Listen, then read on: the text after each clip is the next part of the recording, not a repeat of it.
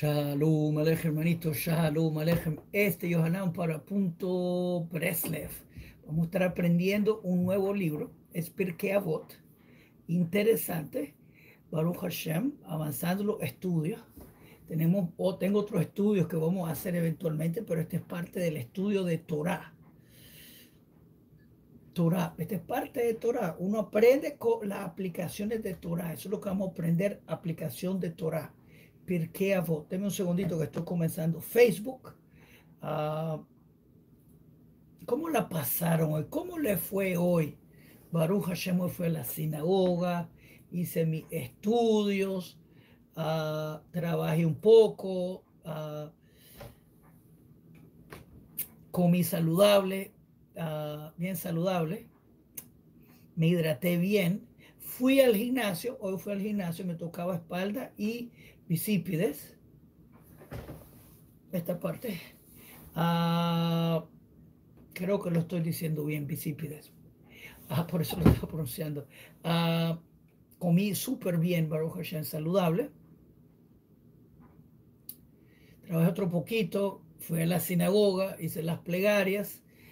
Quiero desearles feliz Jodesh Nisan, el nuevo mes de Nisan. Acabamos de comenzarlo hoy en la noche. Nisan, su raíz, la palabra Nisan viene de Nisim, milagros. Así que que este mes uh, sea un mes de milagros para todos nosotros. Que este mes sea para bendición monetaria, salud, salud perdón, uh, para salud para todos, que podamos ver este el mes de la redención. Este es el mes, el mes de Nisan se cree que, se, creemos, obviamente quiero creer que todos los días está bueno, pero se cree que este es el mes que vamos a ser redimidos, porque fuimos redimidos en Nisan, en Egipto, y vamos a ser redimidos también en Nisan. Espero que sí. La revelación mesiánica, Elías el profeta, etcétera, etcétera, etcétera.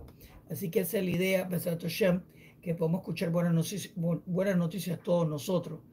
Ah, así que Jodesh feliz nuevo mes. Bien.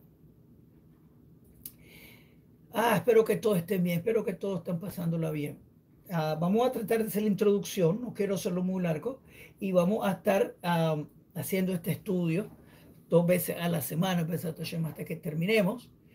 Hay, para que sepan, dos variaciones de este libro. Mm, una regular que se llama Pirkei y el otro es Pirkei Avot de, uh, de, de Rabbi Natán.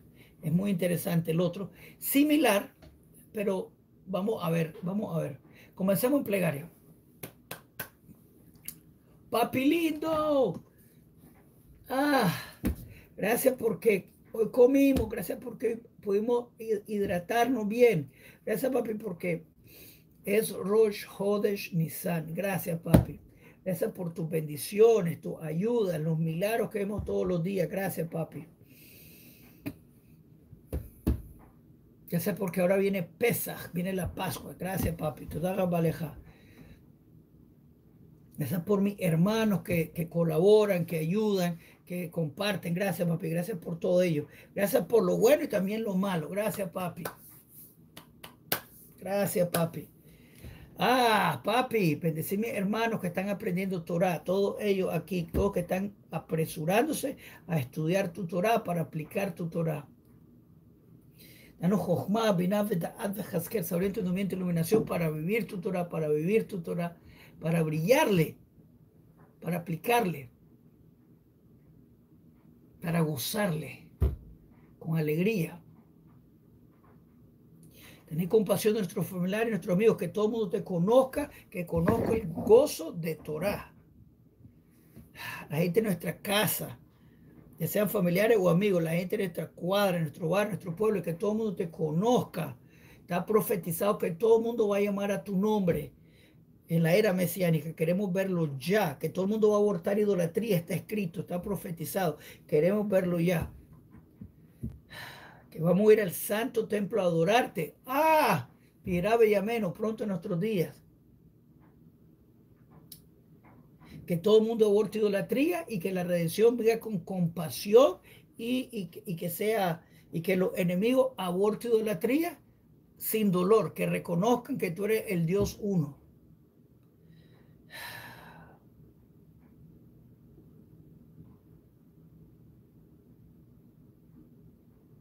De compasión de nosotros, guíanos en este estudio, guíanos en este estudio para hacer bien, para traer luz al mundo. Lema Ahava, por tu gran nombre, por amor.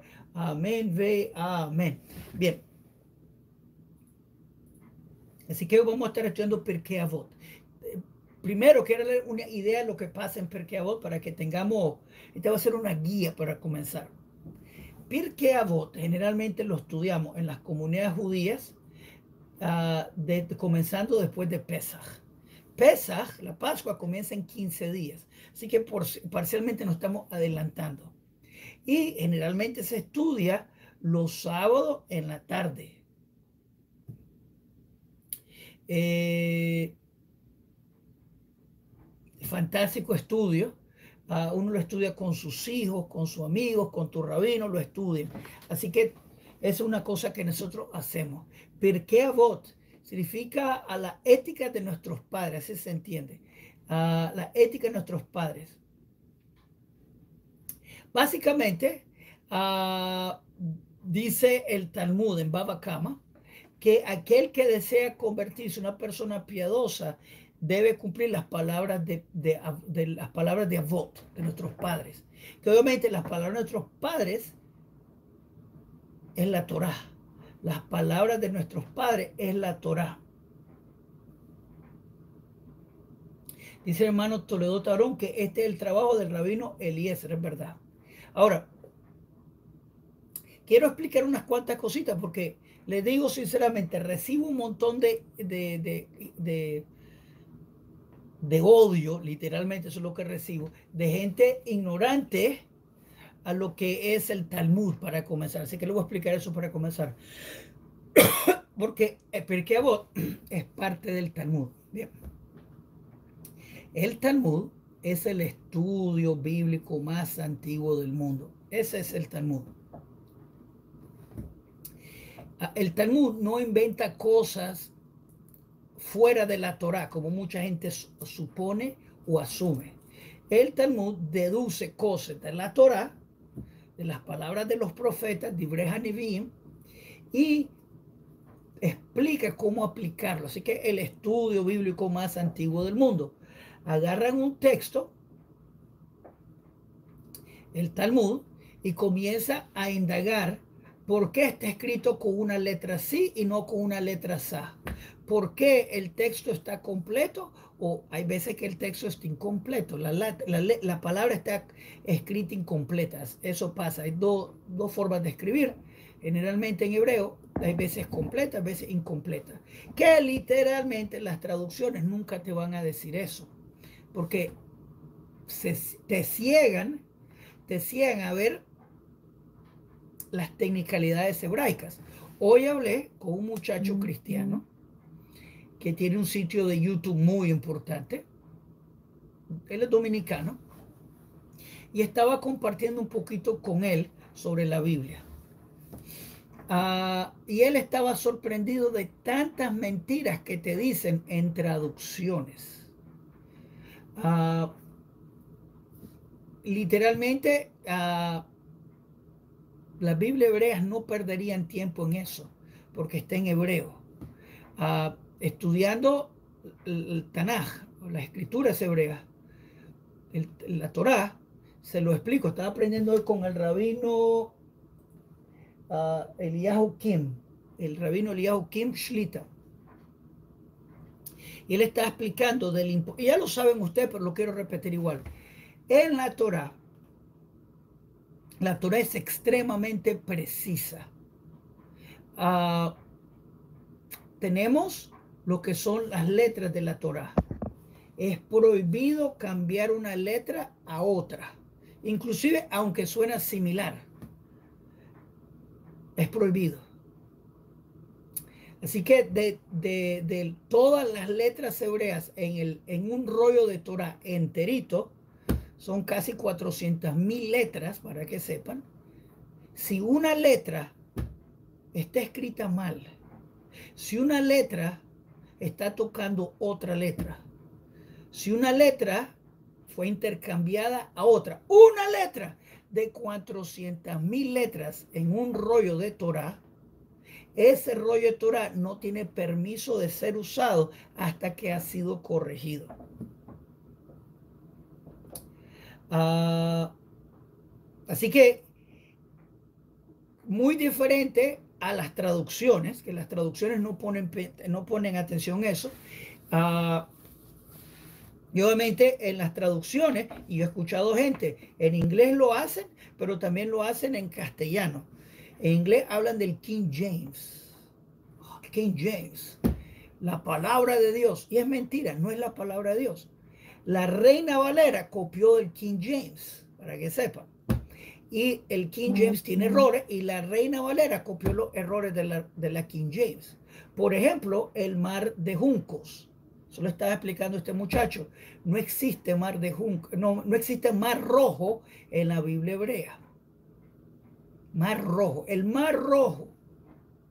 Eso vino del King James que se, se, se trasladó a la Reina Valera. Un error brutal. Y así hay miles de errores que se copiaron y en verdad son errores que no existen en la Biblia hebrea, son errores de los traductores, de los copistas. También estaba hablando con este muchacho del problema de traducciones adulteradas por doctrinas eh, eh, y teología. Ya saben ustedes, no estoy desviándome, así que quiero darle, quiero darle la idea. Por ejemplo, en Salmo 2, que los cristianos dicen, besa al, besa al Hijo. No dice eso. O, Salmo 22, me perforaron las manos y los pies. No dice eso en hebreo. Eso fue un invento doctrinal y lo tuvieron que inyectar a sus traducciones porque eso no existe en hebreo, pero eso es parte de su doctrina. Ah, así que en el hebreo, en la Biblia hebrea, no existe tal problema.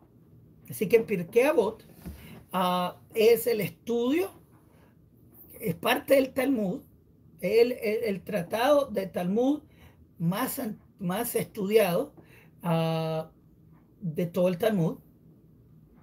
Uh, es seis capítulos, aunque el sexto es diferente, se lo digo sinceramente.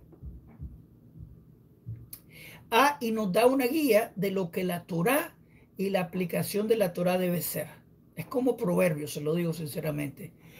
Literalmente es como proverbio, pero tiene que ver con Torah, con lo que está escrito en la Torah. Así que literalmente lo que vamos a aprender en Pirkei Avot viene de Torah, de la Torah escrita, aunque en la Torah oral, que esta es la Torah oral, a lo que se llama darshan, eh, que te ayuda a, profundizar. A Toledo Tarot, Darshan, eso es Yiddish, ¿no? Te ayuda a profundizar, a buscar, que tal vez no, a Darshaning, que le decimos, eso creo que es Yiddish, que te ayuda a profundizar lo que, la práctica de Torah. Bien. Y te da la, la fundación, el fundamento de qué es, lo, que es la Torah. Pero como digo, y quiero enfatizar esto súper mega bien. El Talmud, y, hablando obviamente de Pirkei no inventa nada fuera de la Torah escrita, sino que comprende cómo aplicar un mandamiento entre este mandamiento y el otro mandamiento. Eso es lo que hace el estudio bíblico más antiguo del mundo. Ahora, Obviamente mi hermano Valentín dijo eso, que hay mucha gente que odia al pueblo de Israel y no importa lo que tú digas. algo así lo dijo, lo estoy parafraseando. Ah, y así que, como dice mi hermano solo en Salmo, mucha gente no sabe el Tanaj. Ese es un problema totalmente diferente, ¿sí? Uh, bien. Uh, Ok, vamos entonces a comenzarle, voy a comenzar a leer la introducción. No estamos entrando todavía el texto, uh, pero sí la introducción. Vamos a entrar, vamos a tocar el texto, así que no se preocupen. Uh, pero sí les pido, eh, sí les pido que por favor compartan uh, este, este video a todos sus grupos. Ah, dice el hermano Robert Fe, ¿en qué parte se encuentra? generalmente, una buena pregunta, los Sidurim, los, los libros de plegaria, tienen Pirkei Avot. Se me, se me olvidó y voy a tratar de recordarme uh, de buscar un Pirkei Avot en castellano para que ustedes lo usen, porque eso sí no lo hice, se me olvidó. Pero es parte del Talmud, no sé de qué parte sería, es bastante extenso. Uh, en verdad, buena pregunta que no tengo respuesta todavía. Uh, ok.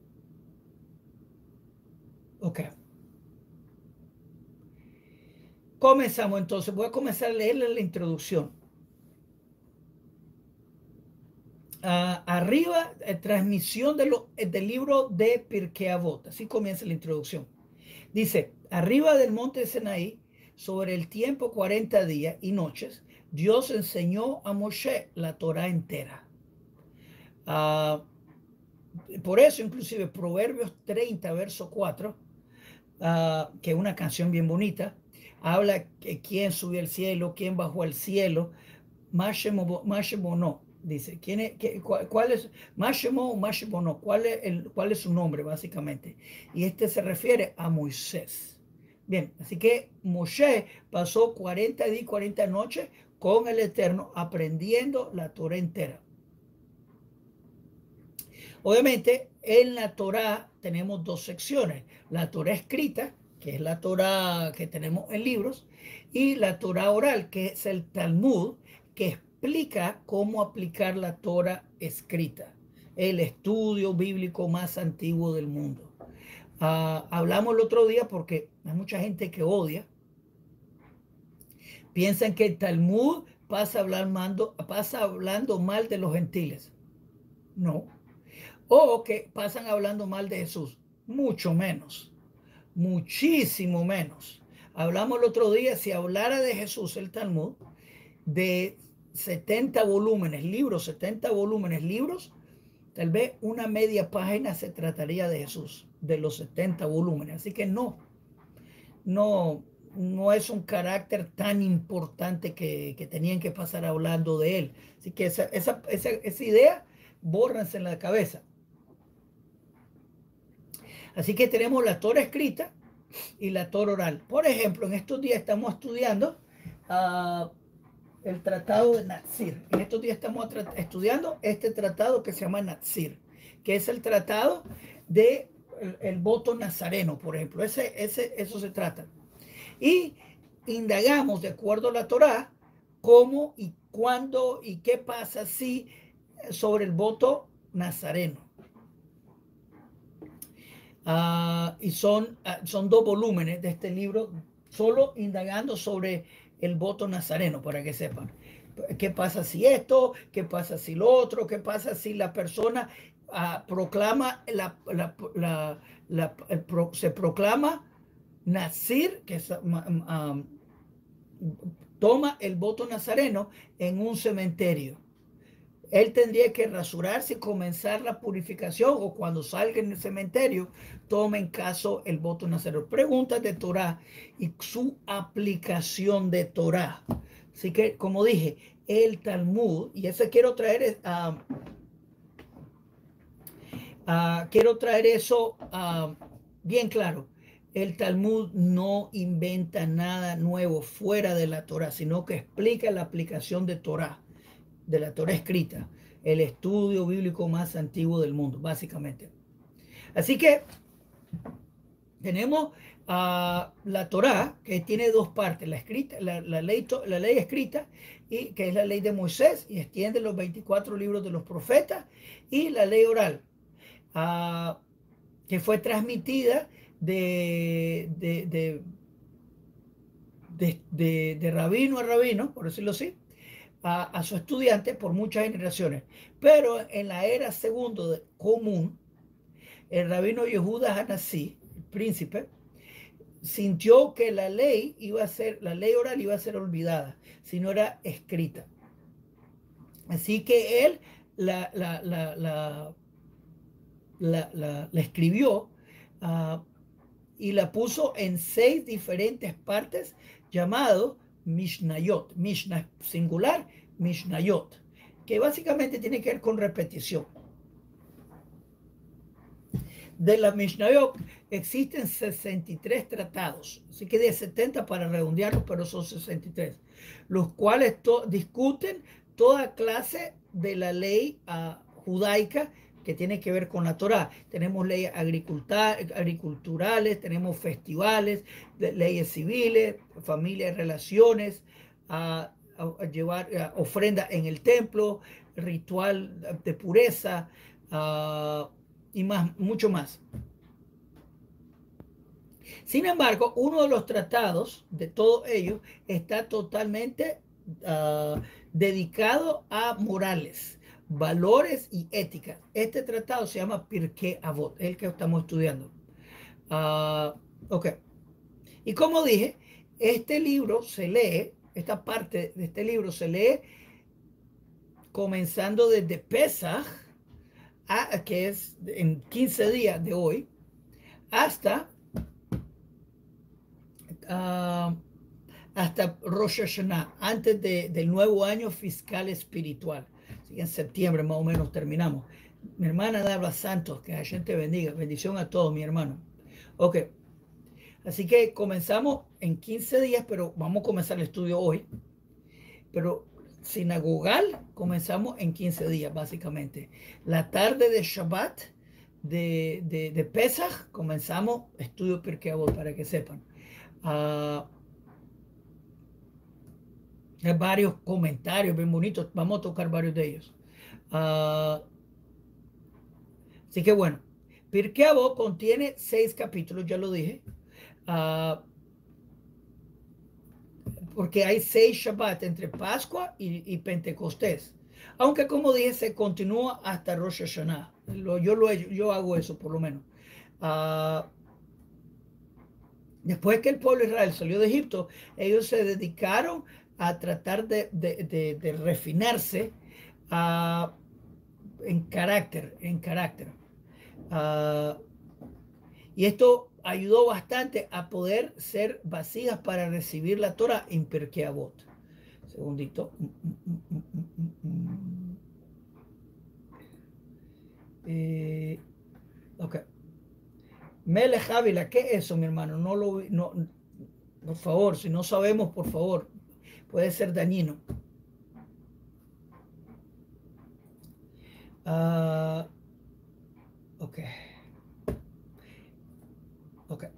Um, mm, mm, mm, Así que básicamente, como dije, para hacerlo bien claro, Pirkei Avot es como proverbios, para que sea como proverbios, pero diferente también. Van a ver, cuando estemos estudiando, van a ver qué diferente es. Uh, segundito. Ah.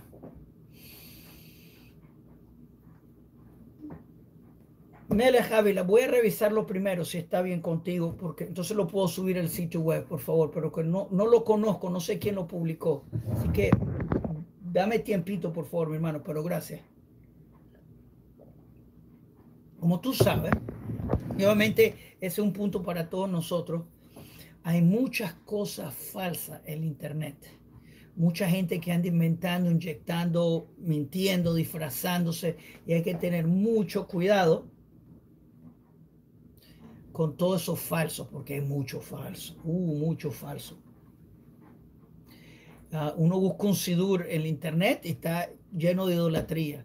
Una Biblia hebrea dique y está en idolatría, así que hay que tener cuidado. Ok. Uh, Ok, entonces vamos a comenzar Pirkei Avot. Ok, segundito. Estoy tratando de ver todos mis comentarios porque quiero darle la base de todo. Uh, ok, voy a leerle el verso 1, la primera parte, y quiero contarles lo que, lo que dicen los comentarios. Moshe Kabel Torah Misinai, Umosara le Yehoshua, Yehoshua le Signim, Usignim le Neviim, Uneviim מסרוח לאנשי כנסת הגדולה. Traducción. Moshe recibió la Torah de Sinai, del monte Sinai, y se lo transmitió a, a Yehoshua. Y Yehoshua a los ancianos, a los ancianos los profetas, y los profetas a los hombres de la gran asamblea.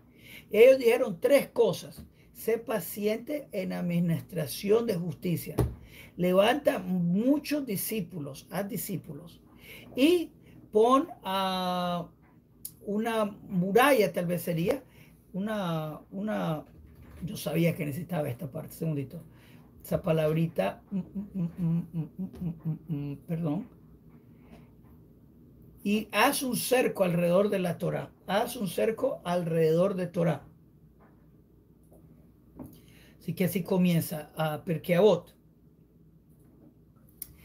Vamos a entender lo que significa. Perkeabot comienza con un dicho de la cadena de transmisión de Torah desde lo original de Monte Sinai con una transmisión comenzando obviamente Moshe, después Josué, los ancianos, los ancianos, los profetas, los profetas a los hombres de la gran asamblea.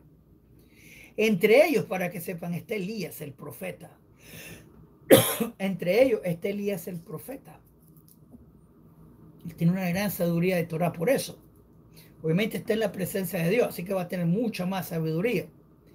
Ah, y por eso, ahora, por estos días, no tenemos Sanedrín, ah, porque la cadena de transmisión se cortó. Ah, las matanzas, persecuciones, etcétera, etcétera. Cruzadas, inquisiciones. Pero, como Elías Anabí tenía la conexión anterior, cuando él sea revelado, él va a poder restablecer el Sanedrín porque tiene la cadena de transmisión. Es un punto muy importante que la gente desconoce de Torah. La cadena de transmisión continúa. No ha sido rota. Aunque hemos pasado tiempos difíciles, digamos en el tiempo de Elías, y Elías le dijo, oh, solo yo sirvo al Eterno. ¿Y qué es lo que dijo el Eterno? No, hay siete mil que no han doblado su rodilla a Baal. Que no se rompió la transmisión. Obviamente en esos tiempos estaba el profeta Abdías, un hombre fiel a Torah, obviamente. Así que esto nos da la, la, la, la, idea de cadena de transmisión de Torah. Entre tanto, entonces regreso. Tenemos a Moshe, a Yehoshua, los ancianos, los ancianos, los profetas. Así que los profetas, Divreja Neviim, es parte de Torah. Ellos dijeron una cosa y hay que respetarlo. Divreja Neviim. Estamos hablando, no estamos hablando de profecías, como la gente piensa, sino estamos hablando de mandamientos ah, de profetas, que no voy a entrar en eso ahorita. Uh, ellos también recibieron, obviamente, tan parte de la cadena de transmisión. Y tenemos después los ancianos, los miembros de la gran asamblea. Hermanos, tengo una pregunta que sé que ustedes se lo saben, por eso lo estoy preguntando. ¿Quién es uno de los famosos miembros de la asamblea, de, la gran asamblea ah, famosa? ¿Quién es uno de los miembros? Les doy una pista. Mm, encontró a Alejandro Magno. Encontró a Alejandro Magno. Mi hermano Richard Herrero tiene una buena idea, una buena pregunta. Dice, ¿cómo era la escuela de profeta? ¿Era como una yeshiva? Creo que sí, pero no era, que yo lo vi aquí en Canadá. Había un señor que se llamaba profeta. Cristiano, obviamente. Judíos no hacen eso. Y ellos querían andar adivinando. Si un profeta falla su profecía, debe ser apedrado. Así que bueno, si ustedes escuchan de un falso profeta, la ley de Torah es apedrar a ese profeta. Así que bueno, no lo hagan hoy en día, pero bueno. Mi hermano solo Hashem salva con mi hermano Valentín Shimón el Justo. Así que uno de los hombres de la gran asamblea fue Shimón el Justo, exactamente. Fue el que sobrevivió, para que sepan también. que es otra historia total. Ah, les cuento por qué les digo que, que él sobrevivió. Les cuento por qué les digo que él sobrevivió. Una historia bastante interesante, brutal. Ok. Segundito. Ok. Mm, mm, mm, ok. Uh, así que continúa la, enseñanza. Uh, Quieren que les cuente cómo sobrevivió Shimon Asadik. Ok. Eh, la gran asamblea estaba, era, era básicamente fariseica, una escuela fariseica. Los, lo, la gente que corría el templo eran saduceos. Y uno de los reyes que estaba a favor de los saduceos prohibió celebrar tabernáculo en Jerusalén en tabernáculos. La gran asamblea agarró los limones, los ectroc, y lo ectrorearon, le tiraron ectroc, lo limonearon al hombre en, en, rabia de por qué había parado la celebración de tabernáculos, Sokot. Este rey, que ahorita se me escapa el nombre, se enojó. Antiocos, creo que fue Antiocos. Él se enojó y mandó a matar a todo el Sanedrín. Y lo mató a todo. Saduceos, parte de los saduceos. Uh, y lo digo así porque mucha gente siempre culpa al fariseo de esto y lo otro. Los saduceos estaban en control del templo. ¿Qué pasó? Que Shimon el Sadik no fue ese día a esa celebración. ¿Por qué? No lo sé. Y él fue el único que sobrevivió. Y luego este, este Antiojos se dio cuenta del tremendo error. En una visión, vio su error y encontró la manera de reparar. Habló con Shimon Sadik. Y a Shimon Sadik le dijo la forma de reparar su error y continuó la construcción, la reconstrucción del templo que duró 70 años en construcción, para que sepan. Pero bueno, es una historia totalmente lateral.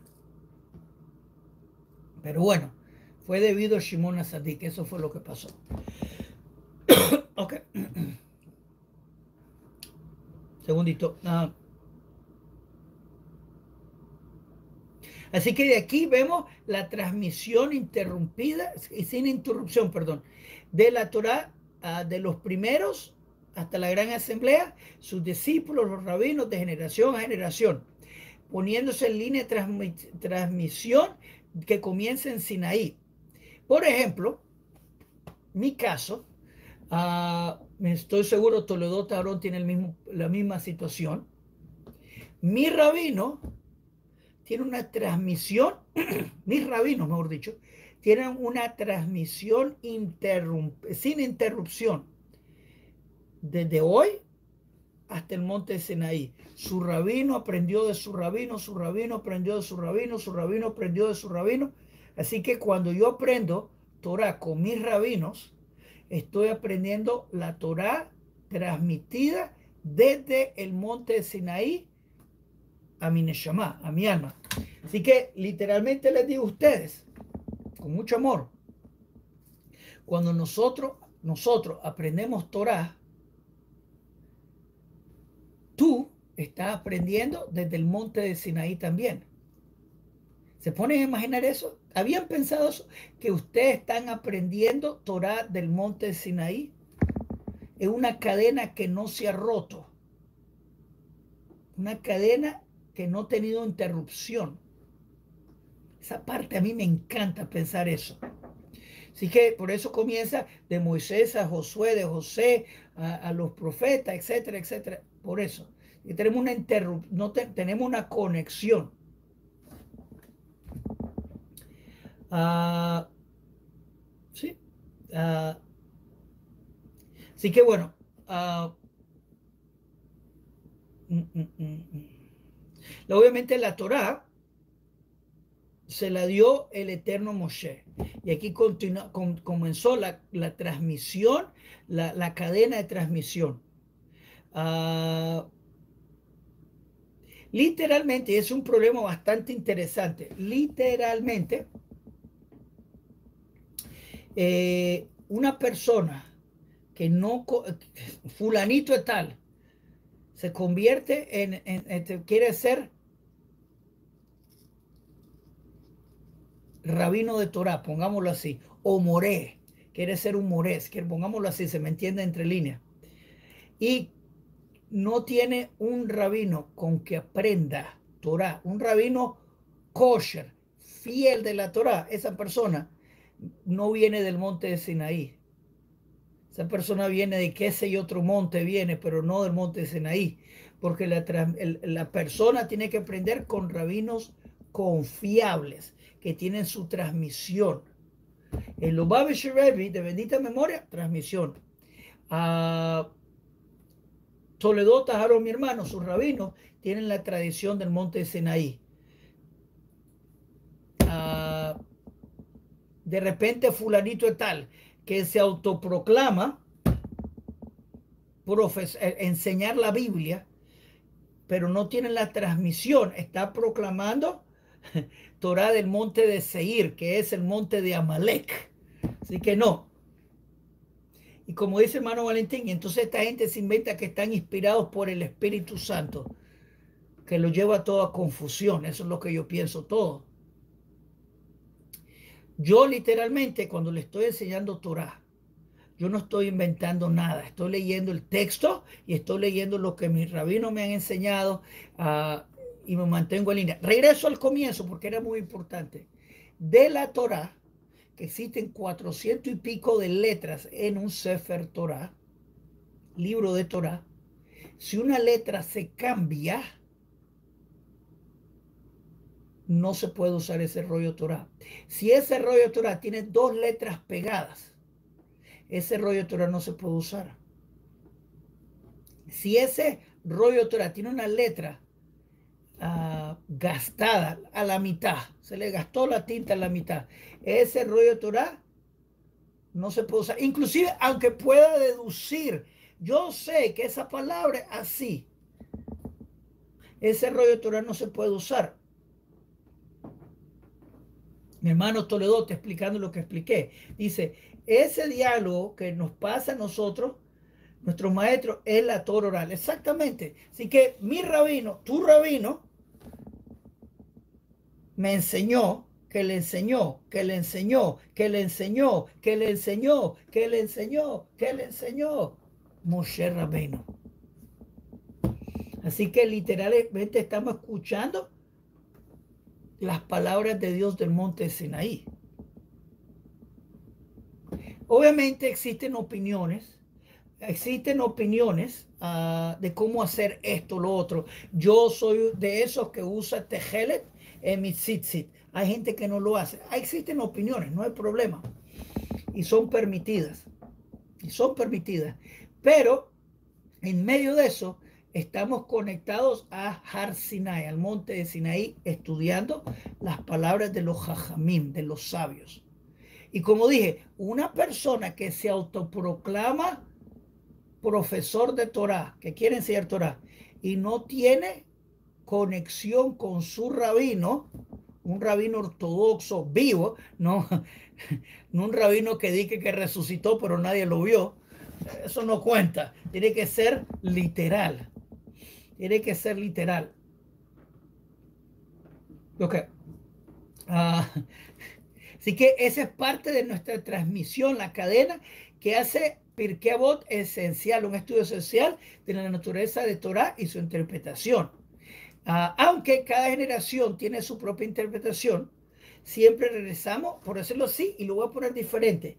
Tener un árbol y cada generación produce una rama y tenemos nuestras hojas, pero es parte del árbol. Es parte del árbol. Ok. Punto interesante sobre el Sefer Torah, regresando al punto del Sefer Torah. El Pirkei trabajaría a sí mismo. Le voy a explicar primero lo del Sefer Torah. Regreso. Tenemos 400 mil aproximadamente letras en un rollo de Torah.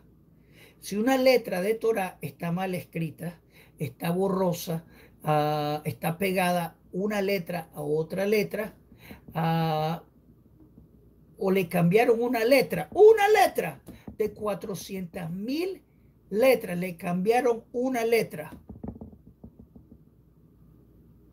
Una Ain a una Aleph. La pronunciación no es extrema. El significado puede ser similar. Pero ese error de Torah no se puede usar hasta que sea reparado. Inclusive tenemos el caso de Parashah Pinjas en números, que dice que el Eterno le dio el Brit Shalom, el, el pacto de paz a Pinjas. Y la palabra Shalom, la letra Vav en Shalom, está cortada a la mitad, demostrando cómo recibieron el Shalom por la, por la, por la espada. Fueron traspasados la gente. Y la letra Vav refleja eso. Así que si encontrás, tenés un rollo Torah que la letra Vav está completa en la palabra Shalom, ese rollo Torah no se puede usar. Un poquito más interesante son las coronas de Torah. De ahí sacamos que son 600 mil 600 mil ah, letras. Pero en verdad estamos contando las coronas. Hay palabras en la Torah que tienen una corona. Hay palabras de Torah, de, palabras en el alfabeto hebreo que no tienen coronas. Ah, voy a enseñarle. Ah, esto es también parte de la Torah. Segundito. Esto también es parte de Torah. Se lo voy a enseñar, pero estoy buscándolo. Ah, mm, mm, mm, si existe un rollo de Torah que le faltan coronas, ah, si le existe un rollo de Torah, segundito.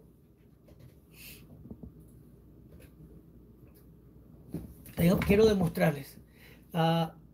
Quiero demostrar lo que estoy hablando. Si existe un rollo Torah que las coronas fueron omitidas, ese rollo Torah no es permitido o si se inventaron corona en una letra, ese rollo Torah tendría que ser compuesto, porque inclusive las coronas en el rollo Torah son importantes. Aquí están, miren las coronas. Esta es la letra. Por ejemplo, tenemos una corona en la letra Sadi, pero obviamente no tenemos en la letra Kuf. Tenemos en la letra Nun, pero no en la letra Mem. En la letra Mem. No tenemos en, la letra Lame, pero tenemos la letra Zain. Tenemos en la letra Gimel, Eh, para, por ejemplo, tenemos la letra Shin, la letra Ain, Sadi. Así que tenemos todo eso y eso es parte de la Torah. Así que la precisión de Torah es tal que tiene que repararse un rollo de Torah. Ahora, no es como la Septuita, que fue la Septuita que tenemos hoy, fue escrita por cristianos, no por judíos. Ah, ¿Qué significa las coronas?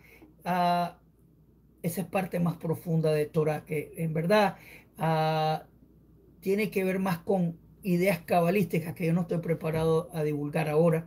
Así que voy a, voy a buscar una respuesta fácil para ti, pero no voy a entrar en eso, hermano Valentín. Buena pregunta, pero son esenciales de la Torah. Pero como dije, no es como las traducciones que Mar de Junco, que viene de la traducción King James, perdón, el Mar Rojo, perdón, lo hice al revés, el Mar Rojo en la Biblia cristiana viene del King James copiado, que ellos hicieron el, error, en vez de leer reeds, que es juncos, pusieron red, rojo. Te viene la, la tonta, tonto error de la Reina Valera. Y así hay muchos errores en las Biblias traducidas, especialmente en las Biblias cristianas. Y obviamente, obviamente nunca vas a ver los fenómenos estructurales del hebreo que solo ocurre en el hebreo, no ocurren en el castellano, en las traducciones. Mi hermano Toledo Tarón tiene una simple respuesta a mi hermano Valentín que habló. ¿Qué significan las coronas? Dice mi hermano Toledo, significa algo que está escondido en esas palabras que solo los, los mekubolim, la gente de Torah profunda los puede descifrar exactamente. La idea, se lo digo,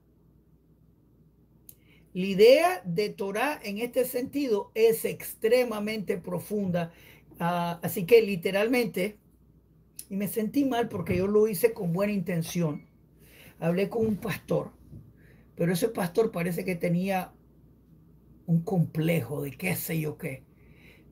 Y le dije que yo no leo las traducciones cristianas. Él se molestó muchísimo conmigo. Le yo leo el original. Porque en verdad los errores son tan brutales y a veces tan tontos que no quiero perder mi tiempo. Y uno pierde literalmente el flujo del texto en la Biblia hebrea, que eso me molesta bastante, eso no aparece en, la, en la Biblia. Ok. Ah, mm, mm, mm, quería decir una cosa, segundito que encontré. Shemaya y Abatlión recibieron la traducción de sus, rabinos. Pregunta del examen y estoy seguro, Toledo Tarón, tal vez tú lo sabes, pero lo voy a decir igual. ¿Quién, ¿De quién eran nietos? Shemaya y Avlat, Talión, que fueron parte del Sanedrín, rabinos muy importantes del Talmud. ¿De quién eran sobrinos? Si lo adivinan, se van a caer para atrás, se lo digo. Si lo adivinan, se van a caer para atrás. Estos eran nietos de quién? Dicen, Shemaya y Abtalión recibieron la traducción de, de sus maestros. Shemaya enseñó ama trabajo, odia la posición de, dominio, de jefe. Ah, no te hagas tú mismo conocer por las autoridades. Aftalión enseñó, sabios, uh, los sabios, sean cuidadosos de lo que ustedes digan, porque ustedes pueden ser exiliados por las autoridades. Nadie está adivinando quiénes son de quién son nietos Ok, les voy a dar una pista. Piensen loco, lo, piensen un poquito loco y se van a, No son nietos de Moshe, no, no, no, eso, nada. Es que eso sería demasiado, es el manguito bajito. No. Yasmín, mi hermana, ¿qué leer? Todo lo Aarón, ¿tú sabes de quién era nieto? Les doy otra pista. Leímos el libro hace reciente. Son nietos de Corenó, no de Elías. Leímos el libro bien reciente en la sinagoga.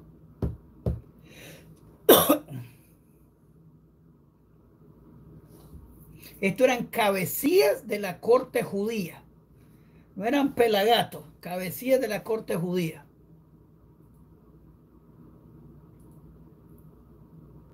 No de Esdras, no de Jacobo, les voy a decir, Hamán, eran nietos de Hamán. ¿Cómo les queda ese ojo? ¿Cómo les queda ese ojo? Eran nietos de Hamán. Y ellos se hicieron conversión y se convirtieron en cabecillas del Sanedrín.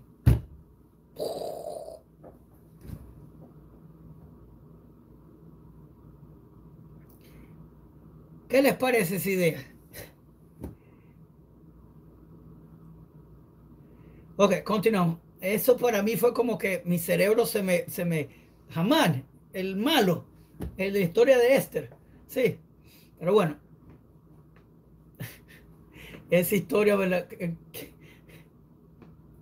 Así que bueno. Dice Lilian que ella sabía que era algún malvado. Ok. Exactamente. Ok, continuamos. Así que esta, cuando la gente me dice es que no aceptan converso o alguna cosa, Aftalia, Aftalión y Shemaya. Ok. Ok.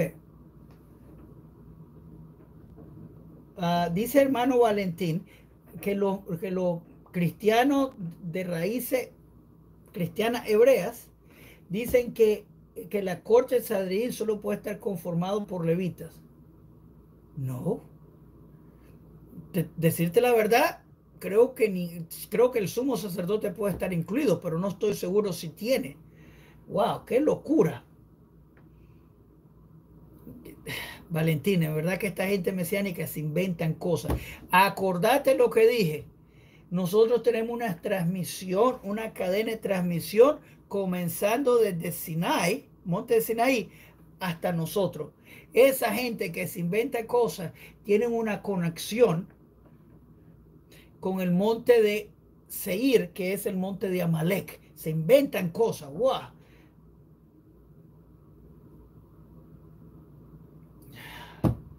Obviamente Boaz era de la tribu judá y también aparte el Sadrín. Wow. Ok. Continuamos. Así que Gilel y Shammai recibieron la Torah de ellos. Gilel enseñó ser un discípulo de Aarón, buscando paz y buscando, uh, amando paz y buscando paz. Shammai enseñó hacer el estudio Torah tu primera, tu, tu principal preocupación, ocupación, perdón.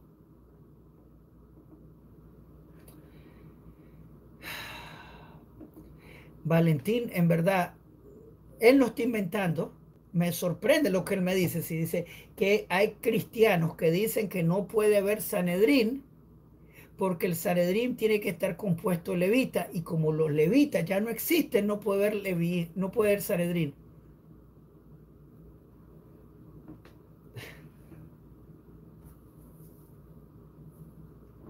¿Cómo le hace esa gente para inventar? ¿Cómo le hace esa gente para inventar? Es wow, wow, wow. Yo le digo a mis amigos levitas que ellos ya no existen, por chiste. Que de acuerdo a los antisemitas, ellos no existen. Mi amigo, mi amigo sacerdote, Koanim no existen ya porque de acuerdo a los antisemitas, ellos ya no existen. Eh, Jacob, lo, dice él, los hijos de Hamán fueron ahorcados, sí. Los nietos no. Ok. Ok. Eh, los nietos se salvaron, sí. Uh, sí, Lilian. Sí, se salvaron. Literalmente hay una enseñanza, Lilian, y mi hermano Jacob Hesworth, que me molesta. Te voy a decir, le voy a decir la, enseñanza de Torah que me molesta tremendamente. El antisemita de Hamán provocó que el pueblo de Israel hiciera arrepentimiento. Así que él tenía parcialmente méritos de eso no me gusta, pero tiene elementos de verdad. Así que digo, si me entienden. Pero eso es lo que pasa. Por eso ellos tuvieron, ah, por eso ellos tuvieron el mérito. Ok. Ah, vamos a entrarle entonces.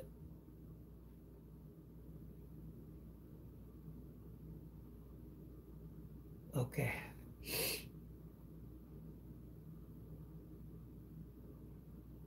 Así que Pirkebo tiene varios tópicos de ética de cada día, interacción, consejos de los sabios, gente que aspira a ser sabios, dicho sobre la relación de Dios y humanidad. Ah, idea obviamente que el pueblo de Israel ha estado viviendo por milenias, por años. Ah, tenemos un énfasis, eh, una, un énfasis en aprender al servicio de Dios, a ser discípulo, comportamiento ético, humildad, tratamiento con justicia.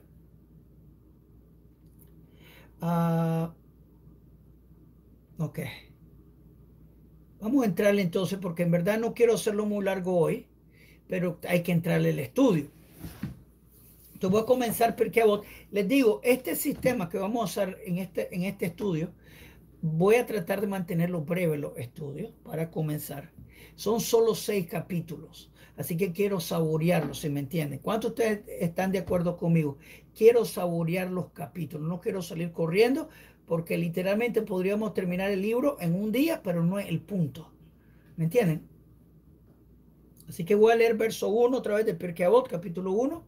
Dice, Moshe recibió la Torah de Sinaí, la transmitió Yehoshua, Yehoshua a los ancianos, a los de los ancianos, los profetas, de los profetas a los grandes hombres, los grandes hombres de la, a los hombres de la gran asamblea. Ellos dijeron tres cosas: sé paciente en la administración de justicia, ah, levanta muchos discípulos y hace una barrera, como que le dije yo, le, ah, hace un cerco alrededor de Torah.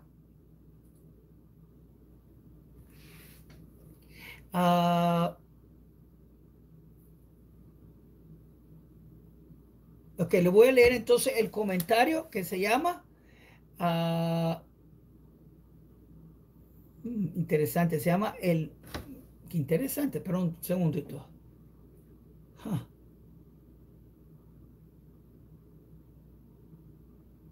Ok.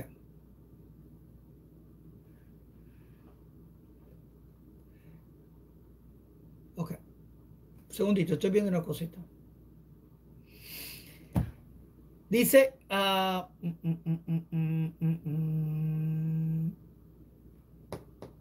vamos a aprender un poquito de Bartenura, que es un vino bien rico, pero no estamos bebiendo vino. Bartenura era un italiano uh, que tenía un comentario, el comentario de Bartenura, que dice, Moshe recibió la Torah del monte Sinaí. Dice, desde que este tratado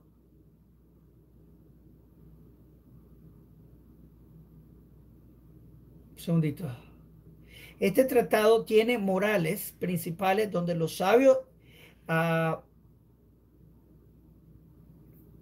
donde los, uh, donde los, mm, mm, mm, dice, tiene morales y principios. diferente a la gente de las naciones que escribe libros de morales de acuerdo a la fabricación de su corazón que concierne caminos morales, como una persona debe comportarse con su, con su, con, con, con otro ser humano.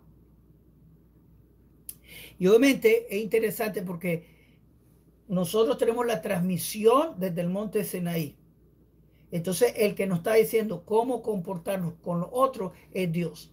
Las otras naciones hay veces por deducción, hay veces porque eso es lo que les gusta escuchar, van a hacer, ah, van a llamar a caminos morales de acuerdo a su decisión hoy en día.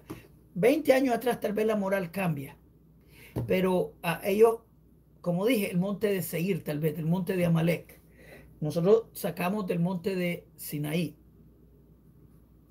Y obviamente Moshe recibió la Torah de Sinaí te dice que los principios y las morales ah, que vamos a estar aprendiendo es parte de la fábrica, de la moral del corazón, ah, que obviamente están basados en la Torah escrita, no son inventados por porque sí, tienen, tienen su raíz en la Torah escrita, no estamos, cuando los otros libros de las naciones tienen su, su, su moralidad que cambia hoy a mañana. Es diferente. Muchas veces contradictorio lo que la Torah dice. Ah, y ese, eso tiene que, tenemos que tener siempre en mente. Puede ser muy contradictorio lo que la Torah dice. Segundito. Uh,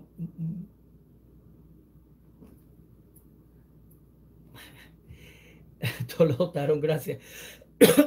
ok. Ok. Eh, ok, continuamos. así ah, que lo recibimos de Sinaí, dice Partenura. Eh, lo recibimos del uno que la reveló al monte Sinaí. Así que, ¿cuántos de ustedes han escuchado este dicho? Esos son las leyes rabínicas pero literalmente estamos, estamos aprendiendo que estas son las leyes del uno. Continuamos. Y Bartenura nos dice, se le dio a los ancianos. Qué interesante, ¿por qué no comenta? ¿Por qué no comenta? Porque hay un punto muy interesante que le voy a comentar mejor. Dice Moshe Kabel Torah Misinaí. Moshe recibió, Kabel, Torah de Sinaí. Yo te doy este teléfono, Kabel.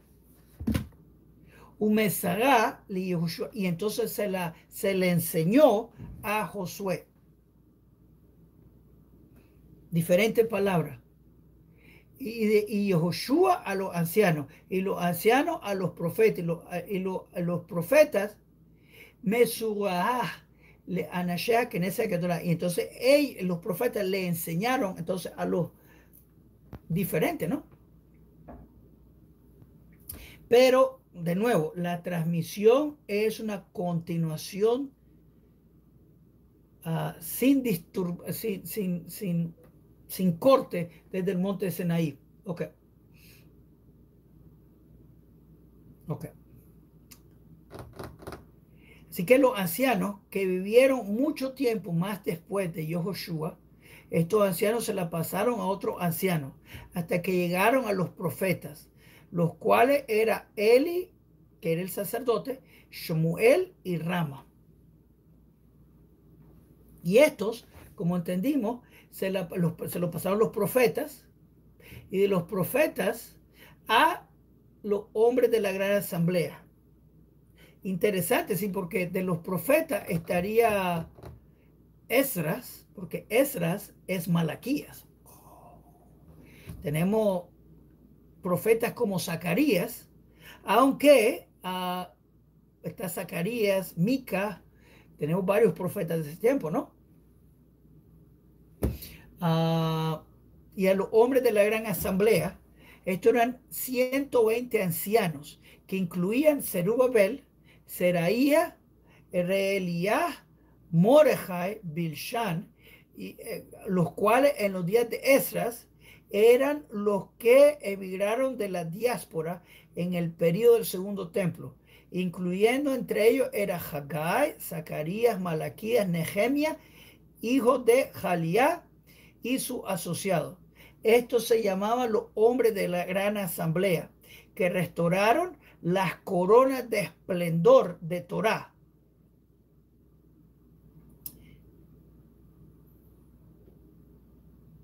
Ok, estas son las grandes coronas de Torah. Ok. Eh, y como dice, uh, uh, para Moshe dijo, la, la, grandeza en poder y maravilla de Dios, en Deuteronomio 10, 17. Jeremías y Daniel vinieron, pero ellos no dijeron, poder y maravilla. Jeremías 32, 18. Daniel 9, 4. Pero ellos restauraron, la restauraron como el comienzo. Porque ellos dos, con su poder y su maravilla, lo dijeron. Podría ser que la luz de Torah estaba disminuyendo por la situación, pero vinieron estos hombres de la gran asamblea y la restauraron la luz. Y obviamente esa luz fue escrita eventualmente en los estudios de Torah que continúan hasta hoy en día. Ok. Ok. Uh,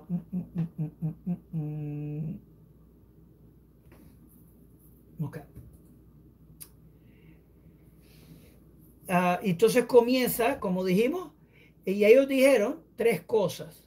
Ser paciente en administración de justicia.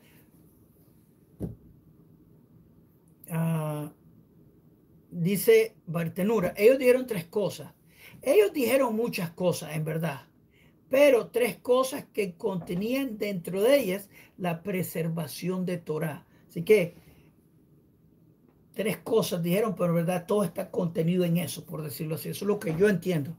Uh, sé paciente en administración de justicia, haz muchos discípulos y haz una barrera, un cerco alrededor de la Torah. Continuamos con Bartenura, que dice, se dice tener uh, discernimiento en juzgamento. Uh, Porque si un caso viene frente a ti dos o tres veces, no digas, este caso vino frente de mí y yo uh, decidí una vez, segunda vez y tercera vez, sino tener discernimiento, que significa pensarlo antes de decir cada caso. Literalmente cada caso puede ser diferente. Cada caso puede ser diferente. Tienes que, que, usar la sabiduría de Dios porque puede ser que juzgues una persona mal. Y lo que pasa cuando decidís mal frente de la corte judía, estarías destruyendo la Torah. Literalmente, si llega una persona y está enseñando contrario a la Torah, esa persona está destruyendo la Torah. Un ejemplo que ustedes saben, decimos en la Shema, escuche Israel, el eterno, nuestro Dios, el eterno uno. Si alguien te viene a decir otro cuento, no es verdad. Ayer aprendimos en Crónicas, segunda de Crónicas 24 y 25, cómo el rey Amasíah, Amasíahu, lo comenzaron a adorar como un dios encarnado. Y te dice el profeta que ese pecado de adorar a un hombre como un Dios encarnado es peor que el pecado de Efraín adorando estatuas. Así que imagínese cómo eh, una, un error en juzgamento puede causar tremendo Hilul Hashem, tremendo, uh, tremenda falta de respeto al nombre del Creador. Uh, Dice hermano Kindle, dioses encarnados. Qué locura, sí, ¿verdad? Ok. Entonces dice, levanta muchos estudiantes. Esa es Bartenura, continuamos. Uh,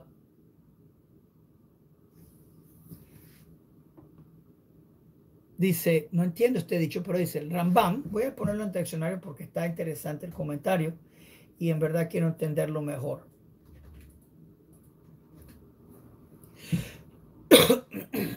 Dice, esto significa excluir las palabras de Ramban Gamliel, que dijo, cualquier estudiante cuyo exterior no sea como el interior, no entrará al Ben Midrash. Eso es Berajot 28a. De esto derivamos que enseñamos Torah a cada persona. No hay necesidad de preguntar por él. En este caso, mientras no se sepa por su camino, por sus acciones son corruptas o tienen mala reputación,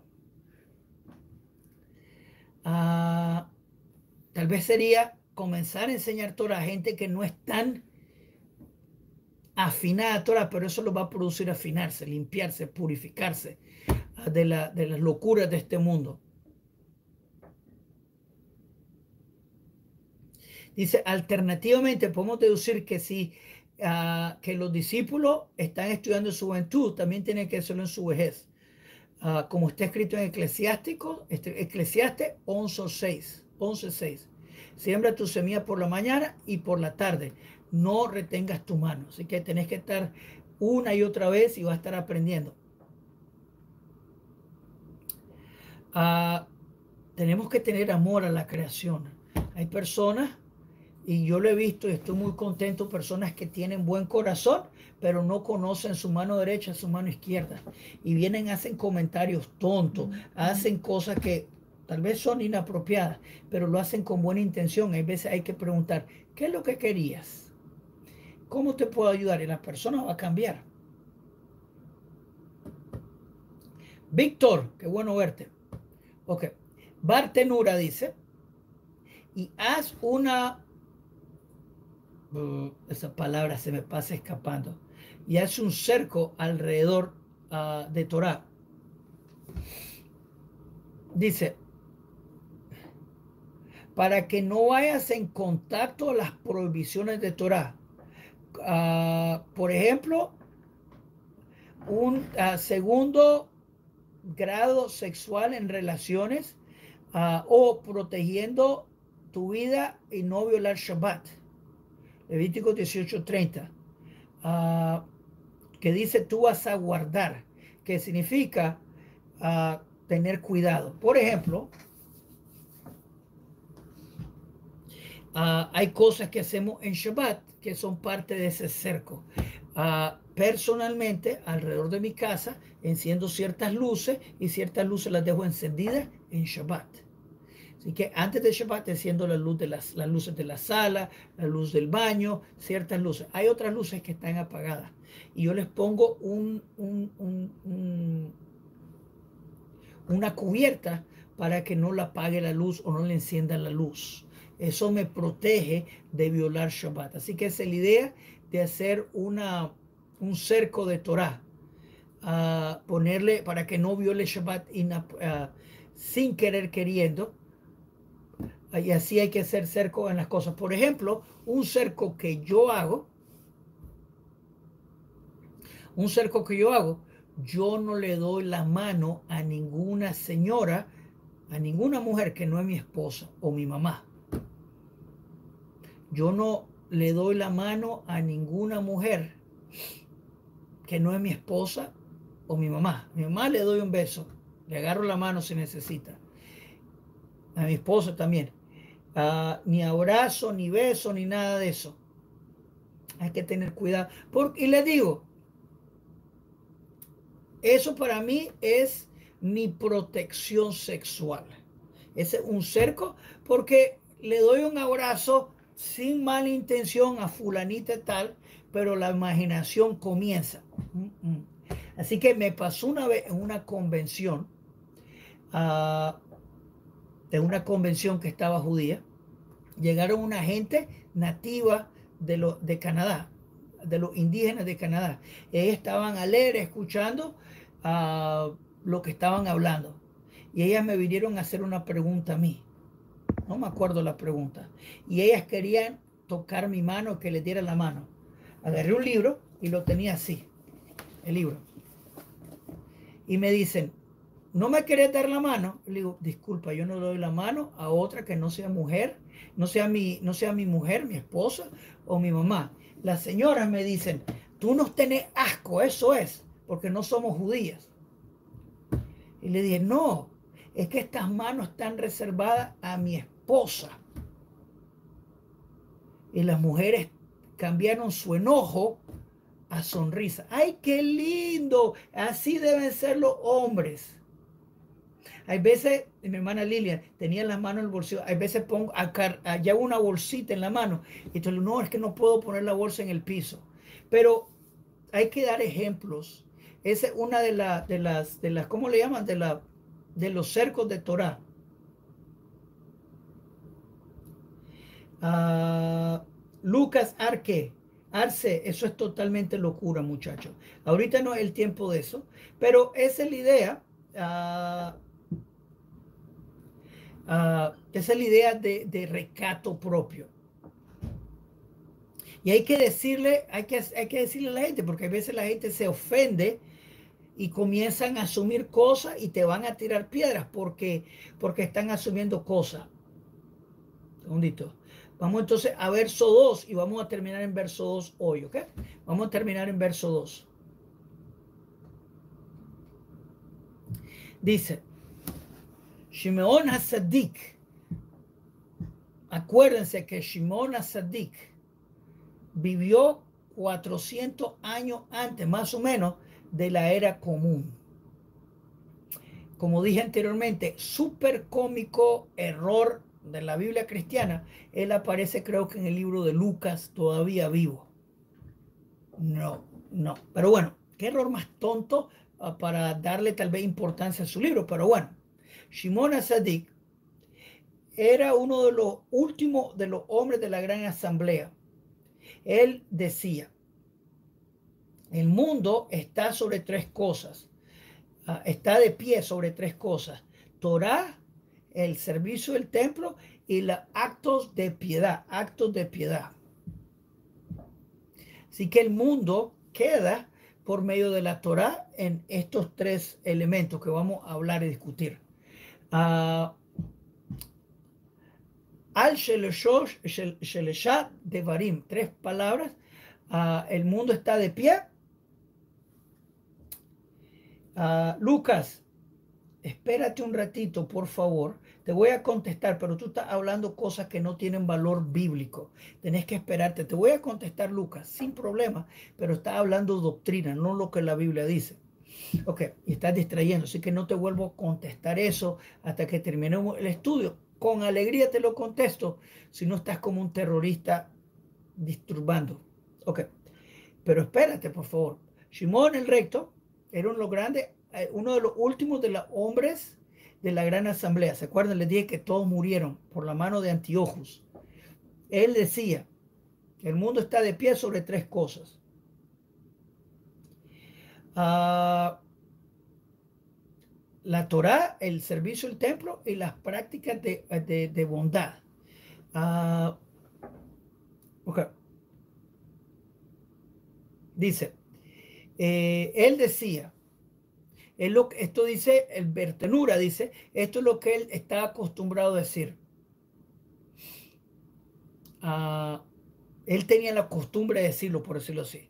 Es, el, muro está, el mundo está de pie, que uh, el mundo fue creado por la causa de estas tres cosas. Número uno, la Torah, que es la ley de Dios, uh, que como sabemos en la Biblia hebrea es Leolam Vaed, por siempre y para siempre. Así que contestando un poquito a Lucas a propósito, eh, la Torah, el Pentateuco, la ley, fue dada en el monte de Sinaí y dice para siempre. Así que en el reino mesiánico, Ezequiel 40 hasta el final, un buen ejemplo sería ver Ezequiel 40, 45 y 46, que habla del servicio del templo con sacrificio y todo, regresando en el tercer y final templo en el reino mesiánico. Te lo dice. Inclusive, el Mesías, que en este caso le llaman el príncipe, y sus hijos, porque el Mesías se va a casar y va a tener hijos, uh, van a ir al templo a ofrecer sacrificios de todo índice porque la Torah lo dijo, porque la ley lo dijo. Y la ley es para siempre. Y como dice los amos, sus leyes son fe. Y como dice Habacuc, el justo vive por su fe. Y la, la Torah, la ley, es para demostrar nuestra fe activa. Así que eso de, de dispensación y todo eso, eso tiene que ver con doctrinas fuera de lo de la Torah, fuera de lo de las escrituras hebreas. Eso es cristianismo Sin fundamento bíblico, literalmente. Bien. Pero lo dice. La Torah dice que regresa los sacrificios. Está escrito en los profetas que regresan los sacrificios en la era mesiánica. Así que no tiene que ver nada. Así que el mundo está creado para estas tres cosas. La Torah. Ah, así, que, así que dice si el Israel no hubiera recibido la Torah en los cielos, la Torah, perdón, si Israel hubiera recibido la Torah, los cielos y la tierra no hubieran sido creados, como está escrito en Jeremías 33, 25. No fuera por mi pacto de día y noche y las leyes de los cielos y la tierra uh, no estuvieran existiendo. Así que si no fuera por la Torah, el mundo no existiera. La ley, si no fuera por la ley existiendo, el mundo no existiera. Bartenura continúa sobre el servicio del templo. Este es el servicio de sacrificios, hablándole para que entienda a este muchacho, Lucas, ah, porque este fue el deseo de Dios para toda la creación. Porque se, enseñó ah, que uh,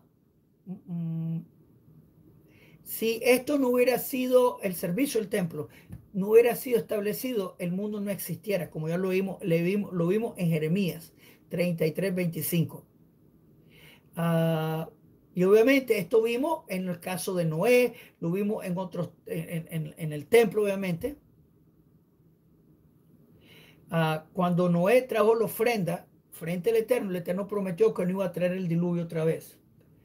Uh, Así que el mundo está sobre el servicio del templo. Inclusive, Lucas, el templo se llama la casa oración para todas las naciones. No es, eh, Lo que tú estás pensando ahorita es cristianismo en ignorancia, muchachos. No te lo digo por maldad. Estás pensando cristianismo. Nosotros estamos enseñando la Biblia. Tú estás enseñando doctrinal, no la Biblia. Ah, y también, continúa Bertenura, en actos de bondad. Uh, Gimilut Hasidim, que significa dar dinero a la necesitado, dar una buena palabra. Y esto está escrito en Salmo 89.3. El mundo fue construido por bondad. Uh, bondad uh, es la ropa que viste al novio y las la palabras que da conforte al enfermo, que trae, que trae visita a la persona que perdió un amado. A palabra, buenas palabras al otro también, palabras de conforte. Vamos a parar aquí porque en verdad no quiero abrumarlos. En verdad no quería hacerlo largo ya lo hice largo. Eh, pero bueno, que el Eterno me lo Vamos a leer un salmo para terminar. Eh, vamos, a leer, vamos a leer Salmo 83. Ah, salmo 83. Así que agarren su Biblia. Vamos a leer Salmo 83. Voy a contestarle rápido a este muchacho, si me, si me permiten, por favor. Lucas Arce. Bienvenido. Mira, tú estás hablando doctrina, no estás hablando lo que la Biblia dice. Te dijeron muchas doctrinas en tu vida, estoy seguro, que no tienen fundamento bíblico. El eterno Dios de Israel perdona los pecados de todos. Lo dice Isaías, lo dice Jeremías, lo dice en muchos lugares. Ah, inclusive en los salmos dice que el eterno es el salvador del Mesías. Lo dice dos o tres veces para que sepa. Ahora, una persona es salva teniendo fe en el Creador.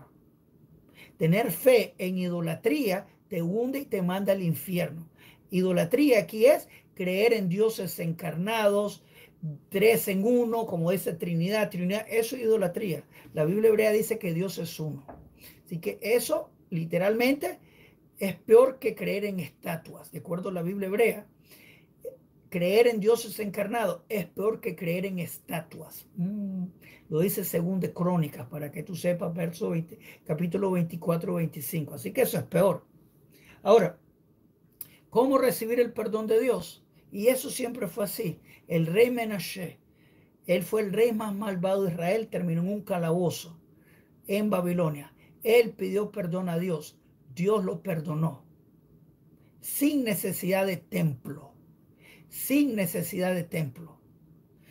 Ahora, si tú vas al templo con una ofrenda, si no eres arrepentido, esa ofrenda te valía nada. Así que la idea de llevar una ofrenda al templo por llevar una ofrenda al templo no te cumpliría si no estás arrepentido. Lo esencial es arrepentimiento. Así que tu comienzo doctrinal te arruina todo, muchacho. Ah, Lucas, no es por maldad, ah, pero uh, eso ideas de, pactos antiguos y todo eso, eso, es cristianismo que te han vendido una bolsa de mentiras, muchacho. Ah, es una mentira que te han vendido del cristianismo. Estás bienvenido. Los sábados de la noche, uh, los sábados de la noche te damos mucho más tiempo de preguntar todo eso. Santander, Gaitán, qué bueno verte, muchacho. Uh, ok. Eh, vamos a recitar Salmo 83. Ah, por ahora. Salmo 83. Dice, mi Dios, no guardes silencio, no te quedes. un salmo de Asaf. Segundito, quiero hacer una cosa.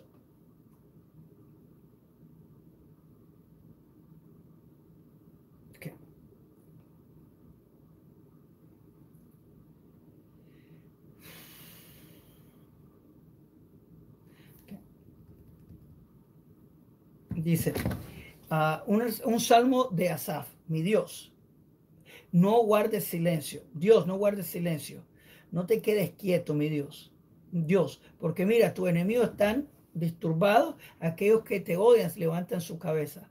Contra tu gente ellos hacen planes malvados, ellos tomen consejo contra tus protegidos.